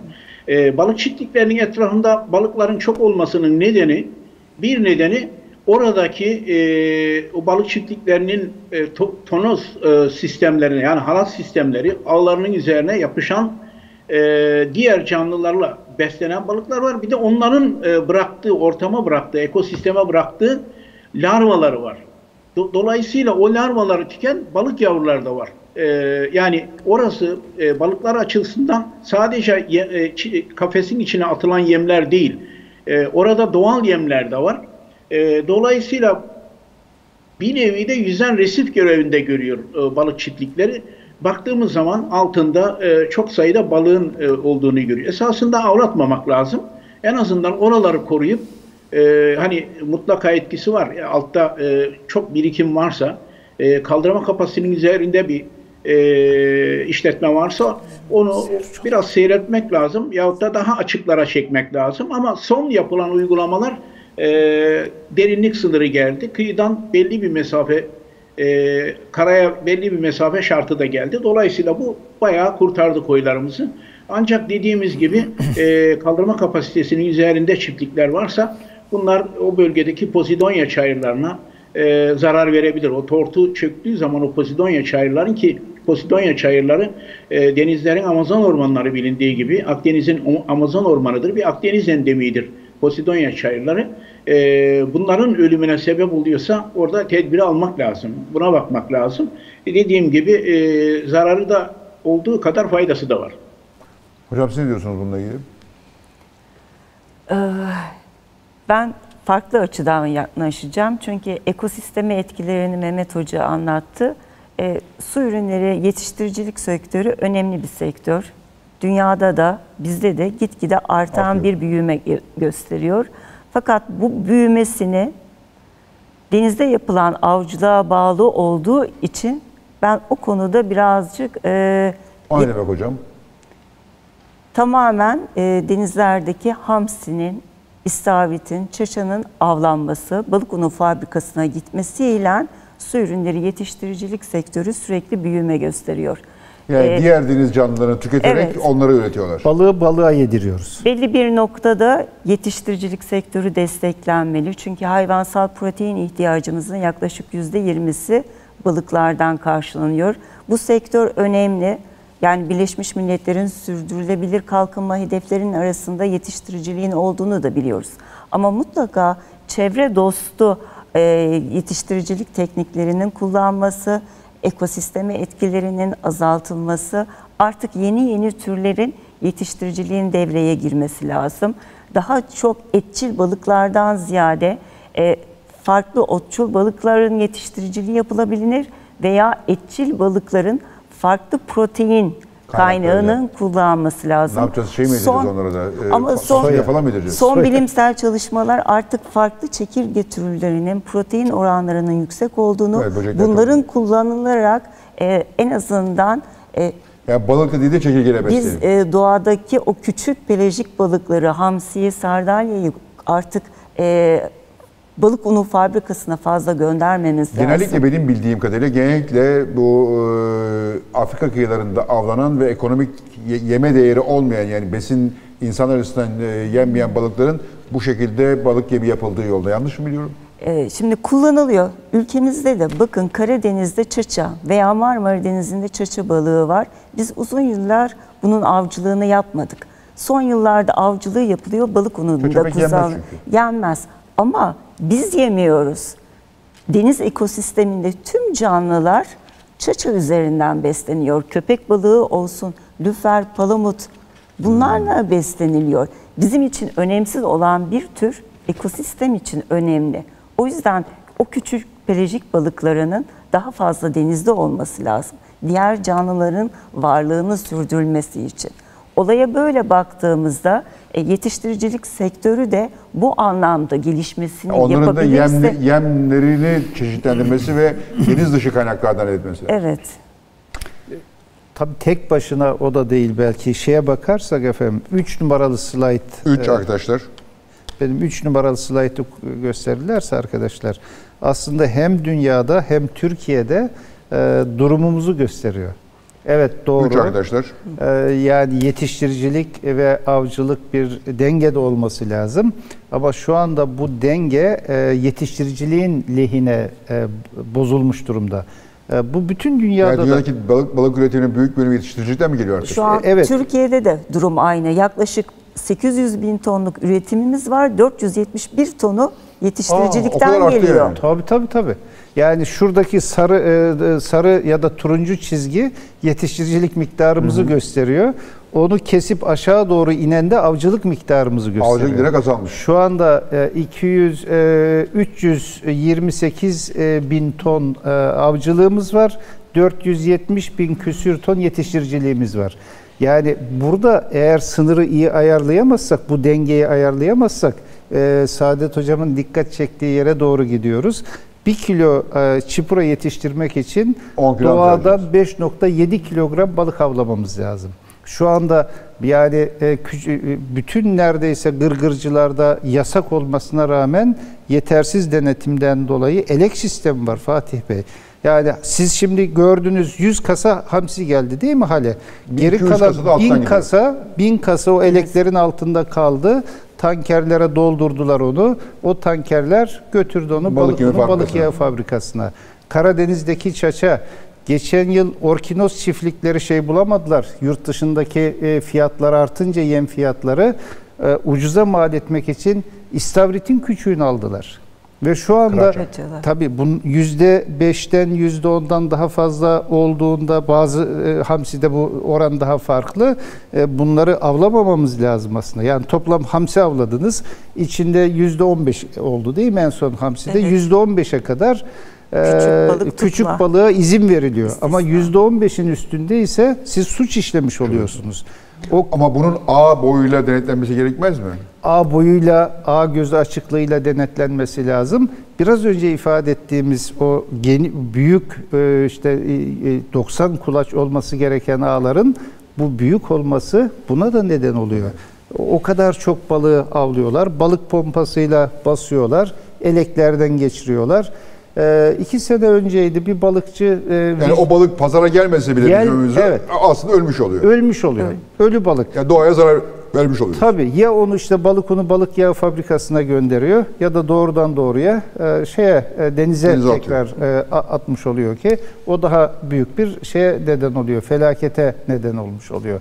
Onun için yetiştiricilik sektörü bizim için önemli. Şu anda 18 milyar TL civarında bir cirosu Ama var. kurallarını iyi koymak Kurallarını çok iyi koymamız lazım. bu da ilginçmiş. Ee, peki hocam şimdi mesela Türkiye'de e, orkinos bahset, orkinos yetişiciden bahsettiniz.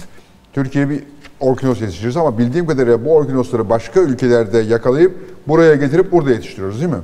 Ee, tamamına yakını böyle. Yani orkinosların e, yetiştiriciliği e, çok ciddi bir e, ekolojik olarak da tartışma konusu. Hatta e, onu denizin içinde ağlar, Ağlarla getiriyorlar. ağlarla çeke çeke getirmiş oluyorlar. E, Saadet hocamın Ben e, uzmanlık çalışma konusu. olduğu için Buyurun hocam, isterseniz Daha detaylı bilgi e, verecektir. Atlantik Okyanusu'nda yaşayan bir balık orkinos üreme zamanı Akdeniz'e giriyor ve Akdeniz'de yoğun bir şekilde avcılığı var. 1990'ların ortalarından itibaren orkinos çiftlikleri bütün Akdeniz ülkelerinde açıldı. Ekonomik değeri oldukça yüksek ve e, birçok balıkçı da zaten e, orkinos avlamak ve e, yüksek kazanç elde etme peşinde. E, fakat e, stokları azaldığı için şu an Aykat e, Orkinoz'da avcılık kota uygulaması yapıyor. Üreme zamanı avcılık serbest. Şu an e, 26 Mayıs'ta 1 Temmuz arasında avcılığı var. E, aslında yanlış olan üreme zamanında avcılığın yapılmaması lazım. Fakat Avrupa ülkeleri başta olmak üzere diğer ülkelerin bastırmasıyla e, bu göç esnasında avcılığı yoğun yapılıyor. E, piyasa tam yılbaşı döneminde uzak doğu ülkeleri talep ediyor. Yazın e, talep edilen bir durum yok. O yüzden yetiştiricilik devreye girdi. Levrek çupurada olduğu gibi bir yetiştiricilik değil, doğadan avlanılan balık. Yavruları yakalayıp büyütüyorlar. Av- yavruları değil, büyük veya küçük ki en Hepsini. çok büyük boylu balıklar hedefleniyor. 6 ay boyunca yeti- şeyi besiciliği, besiciliği yapılarak kilo artışı sağlanılıyor ve Ocak, Şubat itibarıyla da ihracat yapılıyor. Yüksek kar kazanılıyor ki Japonya'yı biliyorsunuz her yıl yıl başında mutlaka e, satışlar yapılıyor. Bir yakalanılan değerli bir orkinozla bir ev fiyatına Ama onlar çok şov maksadı. Bir tane balık, iki tane balık öyle satılıyor. Evet.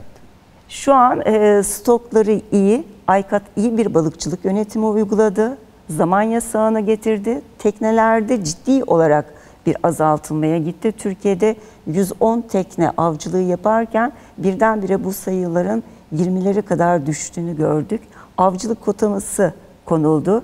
Türk tekneleri gidip Cezayir, Fas gibi yerde avlanıp onları buraya Şu getiriyorlar. an Akdeniz'de biz iyi durumdayız. Bizim balıkçı filosu artık e, balıkçılık sahasını genişlettirdi. Doğu Akdeniz'de sadece avcılık yaparken şu an Malta'ya gidiyoruz.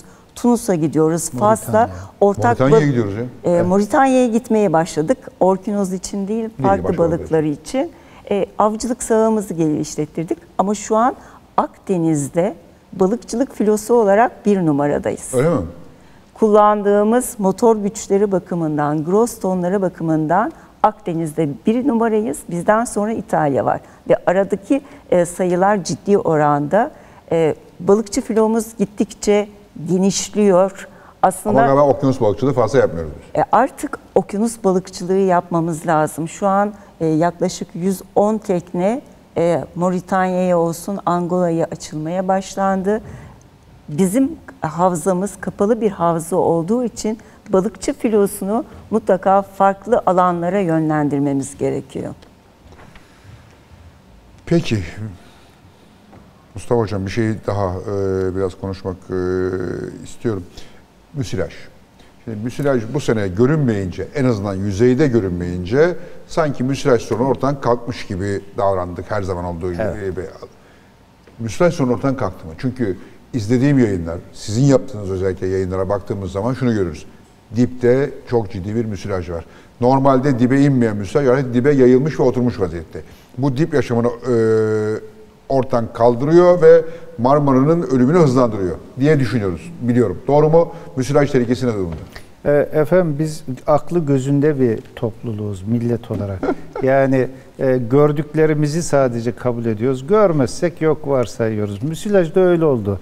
17 Ağustos 2021 itibariyle yüzeyde görmez olduk müsilajı. Yaşasın kurtulduk zannettik. Kurtulmadık.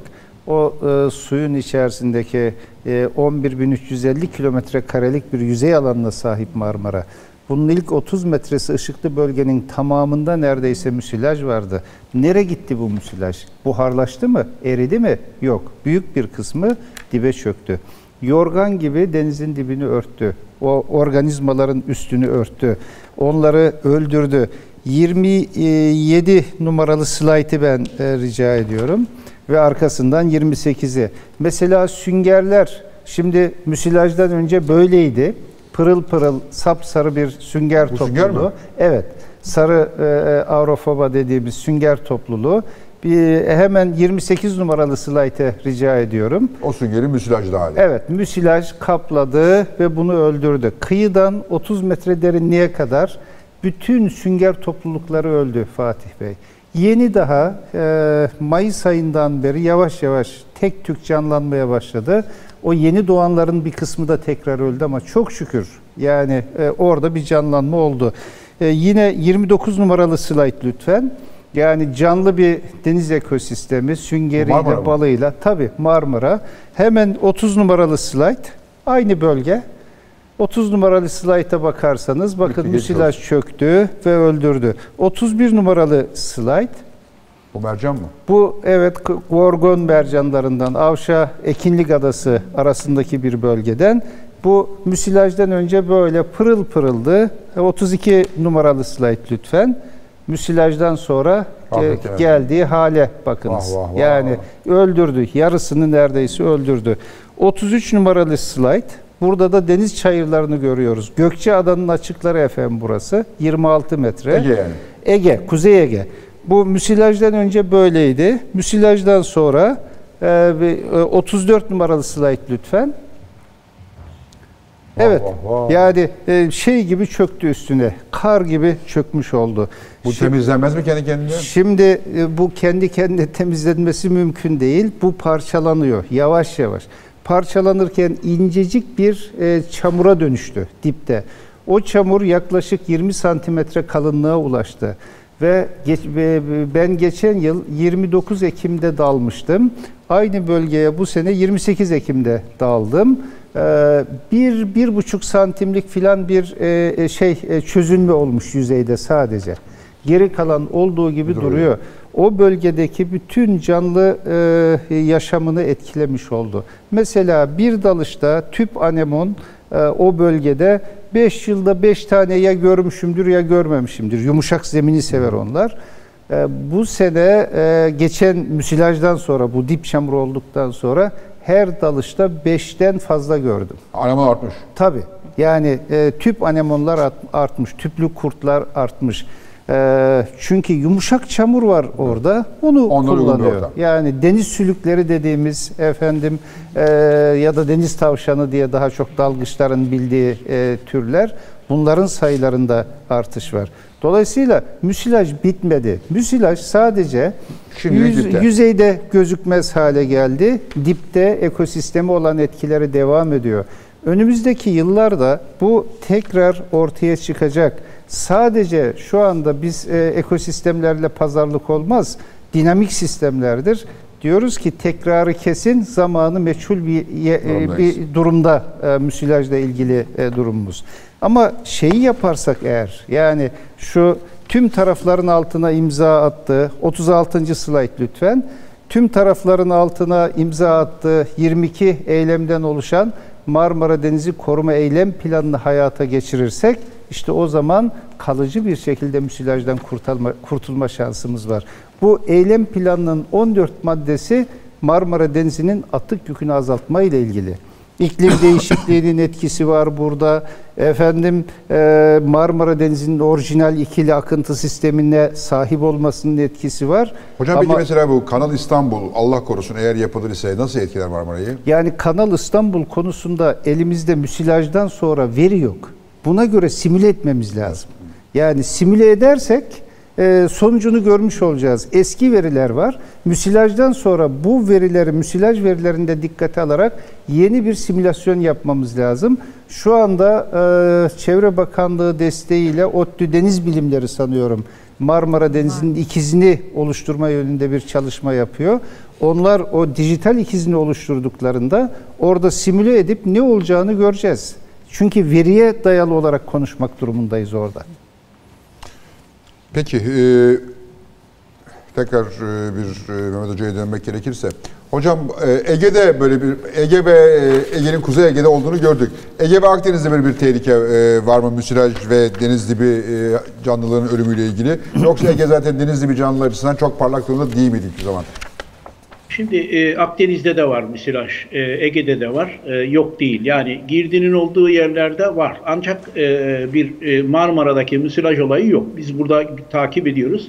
Akdeniz Üniversitesi e, ASAT ve e, Antalya Büyükşehir Belediyesi bir protokol yaptı. Bu protokol kapsamında biz müsilajlı önleme ile ilgili bu bölgedeki e, kıyı sularıyla birlikte bir değerlendirme yapıyoruz. Bu çalışmalar kapsamında e, müs- müs- müsilajı tetikleyen e, unsurları belirlemeye çalışıyoruz. Güzel de bir çalışma. E, her hafta gidiyoruz. İşte birkaç hafta bir ara verdik. Şimdi tekrar başlayacağız. Bu hafta tekrar başlıyoruz.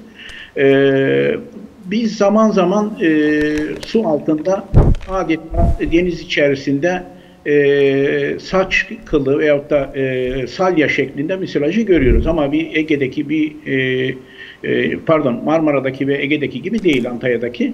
E, bunun nedeni de çok fazla girdi var. Yani e, tüm Antalya sahillerini düşündüğümüz zaman e, çok miktarda otellerin olduğunu, e, nüfusun çok arttığını, bura, buralardan çok giriş olduğunu görüyoruz. Bunlar tetikleyici unsurlar zaten. Mümkün olduğunca e, atık suyu vermememiz lazım. E, arıtmaları çok iyi yapmamız lazım. E, Mustafa Hocam'ın dediği gibi o eylem planlarını gerçekleştirmemiz lazım. Özellikle e, Antalya Körfezi'ni besleyen tatlı sulara çok dikkat etmek lazım. E, buralardan artık e, kirli suyun girmemesi gerekiyor Akdeniz'e. E, zaten yeterince yükü fazla denizin. E, bu önlemler almak lazım. E, bunları tespit ediyoruz biz e, ve e, gerekli şeyler. Özellikle otellerde karşılaştığımız sorun otellerin yüzme havuzlarının klorlu suları.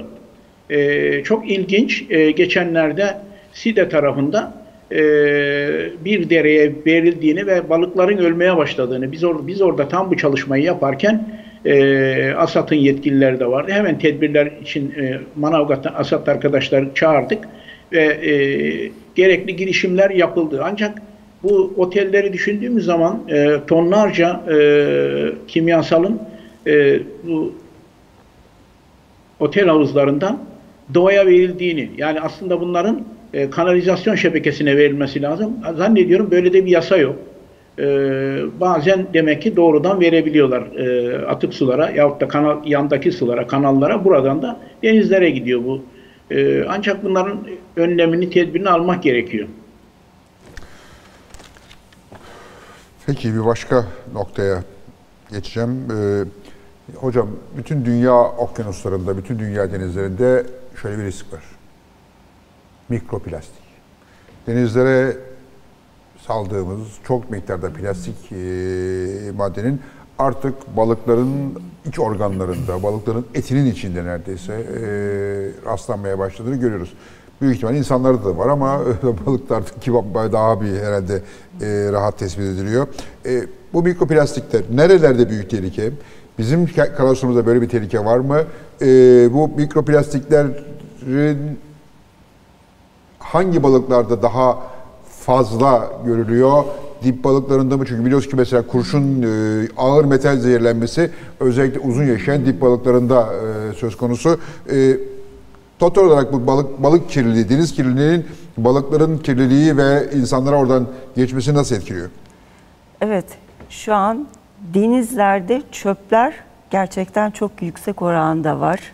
Bizler bile yaptığımız biyolojik örneklemelerde balıklardan ziyade deniz çöpleriyle karşılaşıyoruz ve bu deniz çöplerinin yüzde sekseni plastik.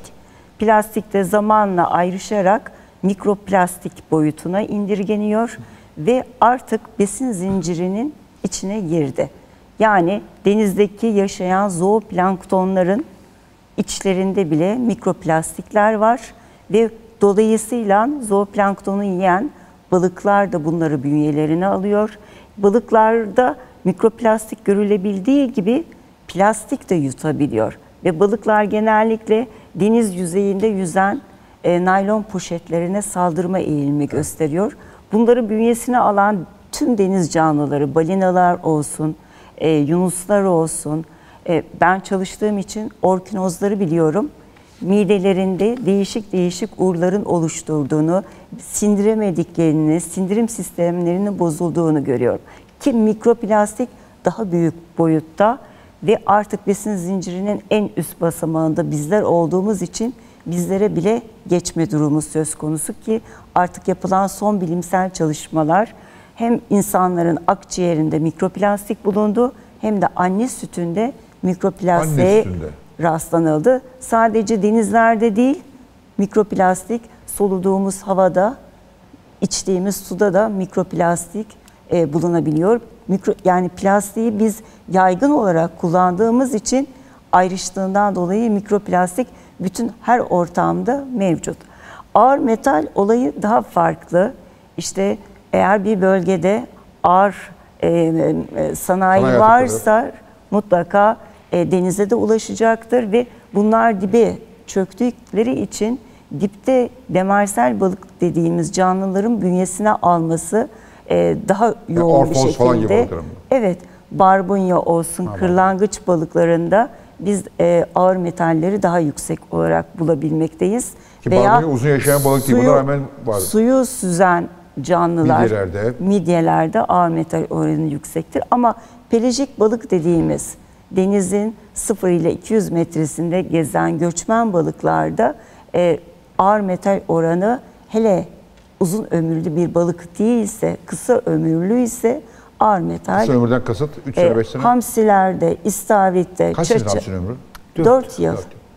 Bir ağır metal birikimi olmaz ama bir orkinozda, kılıçta mutlaka e, ömrü 30-35 yıl olduğu için ağır metal birikebilir ki orkinozda daha çok kurşun zehirlenmesine veya civa zehirlenmesi daha çok görülebilmekte. civa? E, vücut e, bünyeye aldıkça birikim olabilir. Eğer onlara bir e, hamile kadın yediğinde veya çocuk yediğinde hassas olarak onlar dokunulabilir. Atılamıyor. Vücutta birikme Birikiyor, gösteriyor. evet. Biyobirikim gösteriyor. Anında Evet. birikiyor. Evet. Peki hocam e, hep çok konuştuğumuz Fatih bir mesele.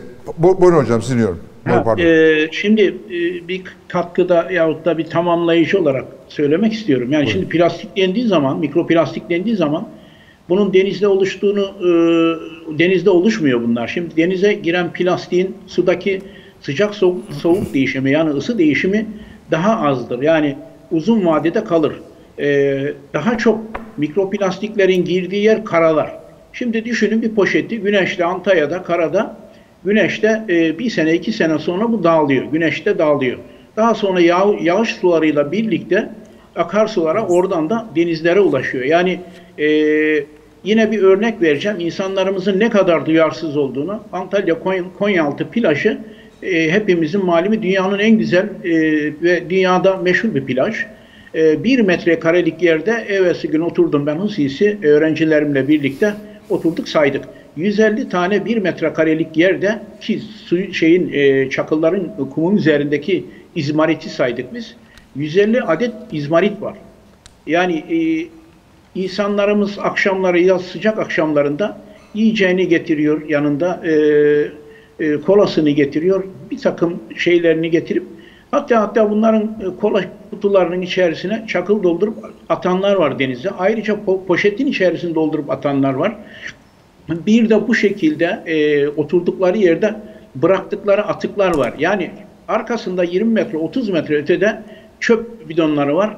Maalesef insanlarımızda oraya götürüp bunu atma alışkanlığı yok. E, ilginçtir yine e, öğrencilerle e, bir çalışma kapsamında şimdi değişik bölgelerinde Konyaaltı'nın daha çok yabancıların olduğu yere doğru yani batı kesime doğru kayıp orada baktığımızda bu izmaritin daha az olduğunu görüyoruz. Çünkü orada yabancılar var. Ee, bizim olduğumuz, bizim insanımızın olduğu yere baktığımız zaman inanın utanıyorum ben 150 adet 1 metrekarelik alanda e, sigara izmariti var. Yani yerde kumun üzerinde bu nihayetinde e, denize karışıyor. Yani e, insanlarımız çok dikkat etmesi lazım. Maalesef bu yüzyılın en büyük problemi de plastik atıklar. Ağır ağır azaltmamız hatta vazgeçmemiz gerekiyor. E, gerçekten çok fazla bir birikim. Hocam o kadar doğru söylüyorsunuz ki e, bu İzmarit konusunda. E, az önce bahsettiğim o e, Fransa'daki sahilde küçük sahil kasabasında 2 kilometre kalan bir plaj var. E, bu plajda ben yıllardır yürür dolaşırım bir tane İzmarit görmemiştim. Bu, bu yaz e, yürürken bir baktım bir yerde iki tane izmarit var. Çok şaşırdım. E, Allah Allah falan dedim. E, orada da bir şemsiye ve eşyalar vardı. E, yarım saat sonra baktım oraya bir aile geldi. Türk. Yemin ediyorum ki. Yazık. E, inanamadım yani. Çok yazık. Ve ilginçtir mesela o, o, o plajda hiç kimse herkes yere havlu serer mesela e, o Türk aile plastik sandalye getirmişler yanlarında. Yani bizim bizim de bir garip bir halimiz var zaman zaman yani, yani e, biraz Bu çevre bakmanız lazım. konusunda halkımızı daha çok bilinçlendirmemiz, özellikle çocukların eğitimine aşkına, yerleştirmemiz gün, e, gerekiyor. bir, bir hafta sonra tekrar geleceği piknik yerine bir çöp yanıyla bırakan bir halktan bahsediyoruz yani. Hani buna çevre bilincine gerek yok. Sadece bir göz bilinci olsa yeter yani. yani "Ulan ben yarın buraya geleceğim. Lan gel de bunları göreceğim yani. Evet. Ya da kamyoncu 100 metre ileri gidip de atık sahasına dökeceğini ve oraya 50 lira vereceğini o 50 lirayı cebe atmak için geliyor yolun kenarına hafriyatı döküyor. Orada camlar, tenekeler, plastikler Allah ne istersiniz yani. Evet. Yani ne, ne bileyim ne diyeyim ben. Yani pandemiden dolayı aslında çok ders çıkartmamız gereken O hususlar dersler bir hafta vardı. sürdü. Yani o bakın doğa kendi nasıl buldu falan filan. Pandemi bitti. Aynı yerde kaldığımız yerden artarak devam. E, çünkü insanın şöyle bir bencil tarafı var. Yani doğa- doğanın parçası olduğunu kabul etmiyor, Kabul etmiyor. insan. Hakimi olduğunu düşünüyor. Her şey benim için ne olacak? Yani balığı avlamazsak balık niye var denizde? Denizi ben kirletmezsem denizin varlığının anlamı ne gibi düşünüyor. Yani buradan başlıyor aslında. Felsefi boyuttan e, herhalde ilerlememiz gerekiyor. E, biz doğayı kirletme diyoruz. E, ama doğanın parçası olduğunu kabul etmeyen adama kirletme demenin çok fazla bir anlamı yok. olmuyor. Utanma, sıkılma belasına çok haklısın hocam diyor. Ama bildiğini okuyor. Okumaya. Yani onun için e, işin biraz arka planını belki de felsefi boyutunu düşünmemiz e, ve çalışmamız lazım. E, mikroplastiğe küçük bir katkı yapmak Hocam isterim lütfen. Fatih Bey. E, Stanford Üniversitesi'ndeki araştırıcıların e, 10 yıldan fazla süren bir çalışması var. E, yani mikroplastiklerin balıklarda nasıl bir etki yaptığını araştırıyorlar. Sonuç şu, balıkların büyümesi yavaşlıyor. Yani mikroplastiği daha çok tüketen ya da mikroplastiğe daha çok maruz, Maruz kalan, kalan. türler e, de büyüme yavaşlıyor. Yani aynı ortamda diğerleriyle ama mikroplastiği tüketmeyenlerin büyümesi onlara göre daha e, iyi olmuş oluyor. E, bu da e, aslında ekosistemin uzun vadede nasıl bundan etkileneceği yönünde bir şey e, done elimizde. Tabii mikroplastik bir yandan, bir yandan tarım ilaçları, e, yani otel havuzu artık orada çok herhalde şey, ne, rasyonel, e, rasyonel diyorum, e, çok minimal Minimal kalıyor. kaldı. Ne yazık ki. Yani bir fabrikanın bo- boşalttığı bir otel havuzunun, bin otel havuzunun bir, bir sene boşalan daha fazla 5 dakikada boşaltacak. E, ama tabii her şeye dikkat etmek lazım. Dört boyutuyla da ama ne yazık ki orada az kalıyor. Peki hocam, buradan nereye devam etsek? Yoksa yeterince konuştuk mu ne dersiniz? Efendim? Konuşacağımız bir şey kaldı mı bu E, konularda? Çözümü konuşmadık. Çözüm sorunları önerisi neler yani ve hep sorunları anlattık. Nasıl ne olacak? Çözüm yok mu? Buyurun çözümleri dinleyelim o zaman. Ben çözüm görmediğim için konuşmuyorum hocam.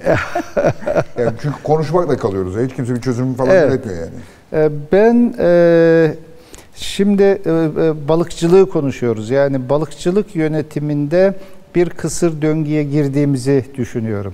E, Bulgular, veriler de onu gösteriyor. E, Bir e, 1940'tan günümüze kadar ki yapılmış olan avcılıkla ilgili düzenlemelerin hepsini bir topluca e, değerlendireyim diye baktığımda e, 1940'lardaki e, avcılık düzenlemeleriyle bugünkü avcılık düzenlemelerimiz arasında çok çok büyük farklar yok aslında. Orada da yine hep şu ağın derinliği bu olsun, şurada avlanmayın, burada yapmayın. Sonuç yani 700-800 bin tonlar civarındaki avcılığımız 300 bin tonlara gerilemiş. Yer, sürekli geriye gitmişiz. Yani Dünyada da mı trend böyle? Dü- Dünyada da trend böyle. Dolayısıyla dünya demiş ki e, bazıları çabuk uyanmışlar. Demişler ki ya bu iş bu yanlış yapıyoruz herhalde. E, biz bu yanlıştan dönelim demişler. Bir rota değişikliğine gitmişler. Nereye ben gitmişler? 44 numaralı slide alabilir miyim? Bir rota değişikliğine gitmişler. Mesela Avrupa Birliği ortak balıkçılık politikasını 2003 yılında kökünden değiştirdi. Amerika 2002 yılında e, balıkçılık yönetim politikasını değiştirdi. Şili toplam dünya avcılığının %2-2,5 kadar bir avcılığa sahip. Şili 2012 ya da 2013'te e, değişti. Bizim payımız ne kadar dünya balık avcılığında? Çok küçük bizimki. Yani 90 milyon ton civarında bir avcılık var. Bizim avcılığımız 300 bin ton civarında. Biz 35. sıralardayız 35. dünyası. Evet çok düşük bizimki. Ee, dünya ortalamasının da e, çok çok e, altındayız.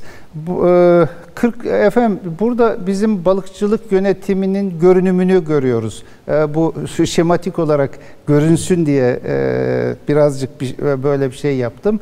Ee, şimdi şu turuncu büyük e, şey sektörün tamamı balıkçılık sektörü hı hı.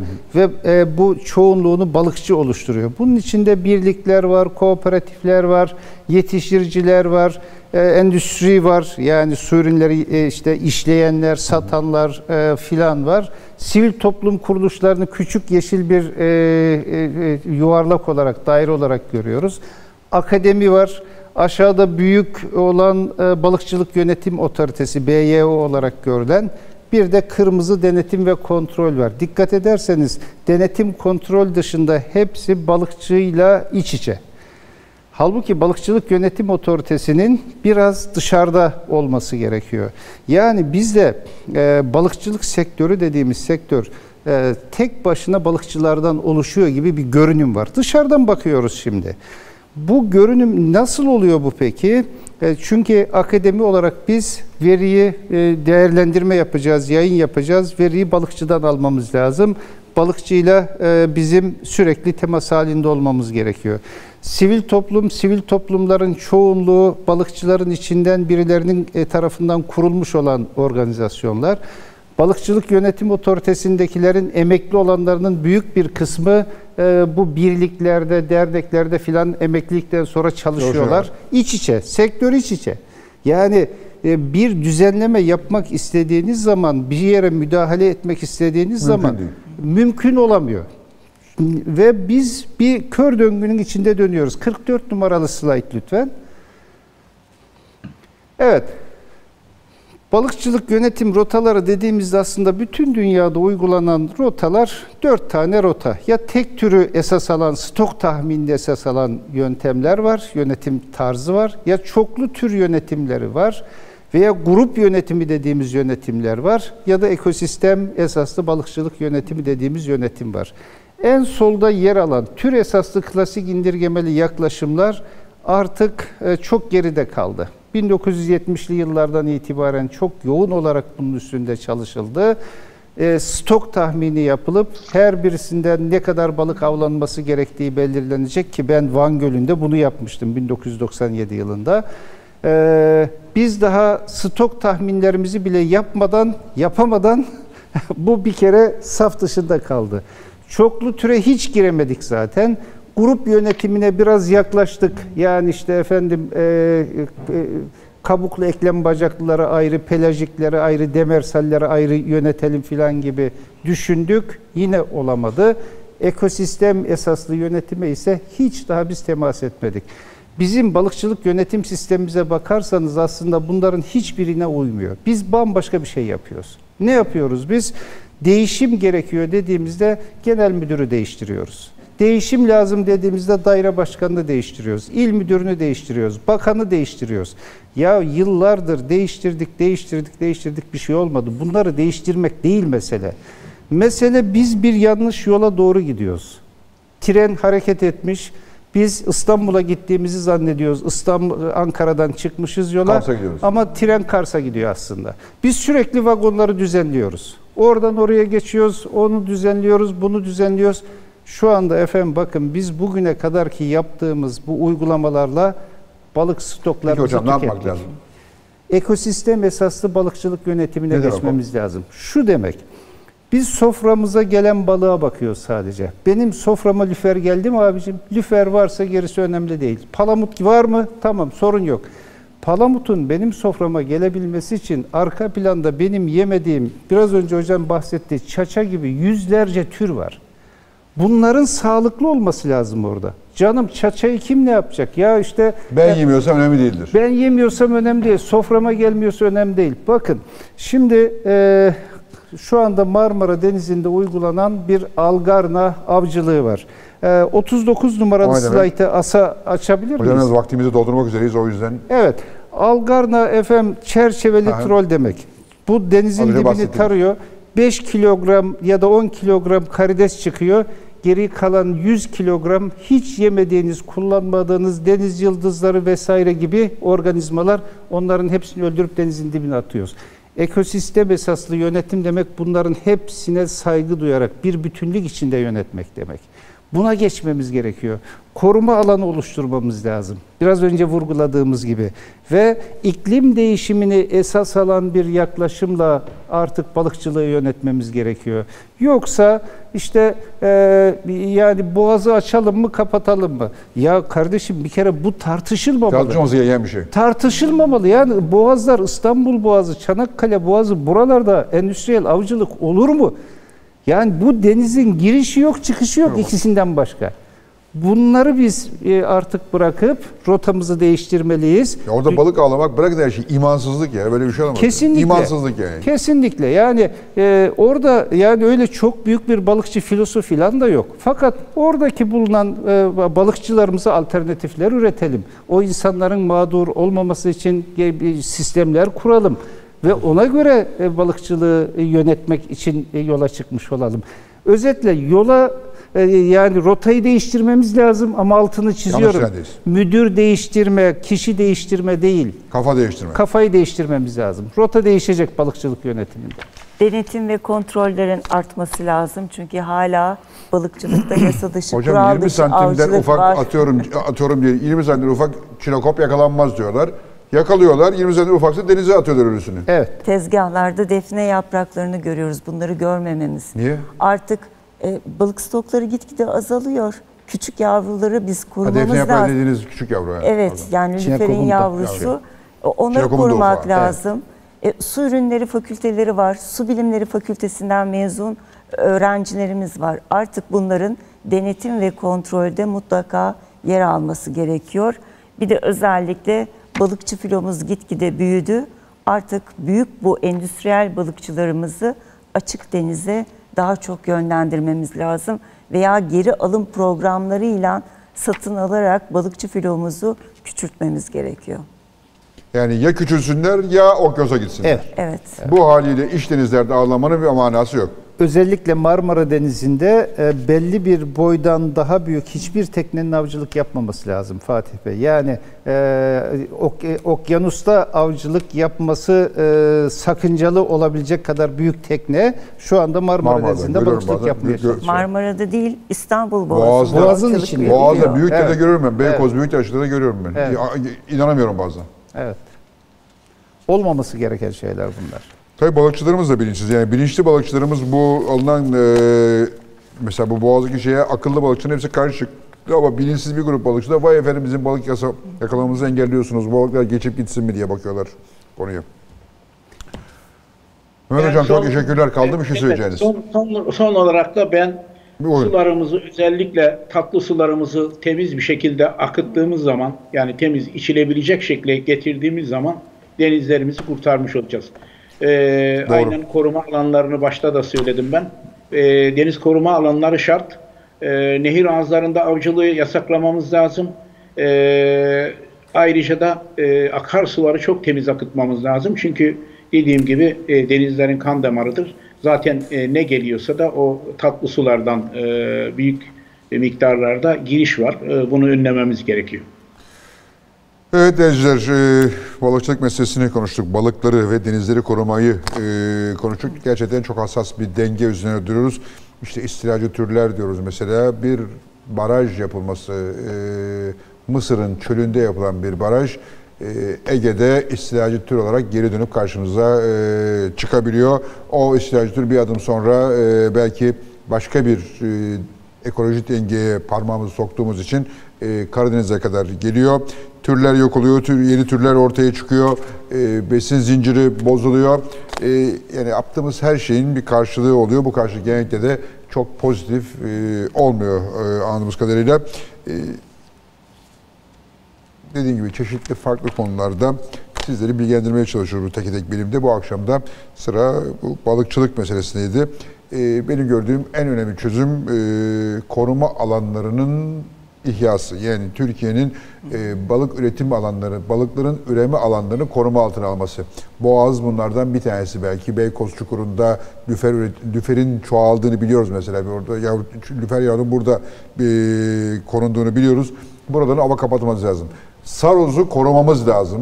Ee, oraya liman ve e, boru hattı değil, tamamen Saroz Milli Parkı, Deniz Milli Parkı yani gerekirken biz kalkıp orada 3 gün oradan petrol satacağız, 3-5 kuruş belki bir, bir, bir şey sağlayacağız diye. Ondan da emin değiliz zaten sağlayıp sağlamayızdan.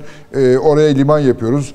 Bindiğimiz e, dalı kesiyoruz. İşte aynı şeyi zeytinlikler yapıyoruz. Yani e, ömrü dolmuş bir e, kömür santrali birkaç sene daha üretim yapabilsin diye zeytinlikleri e, açıyoruz e, kömür üretimine.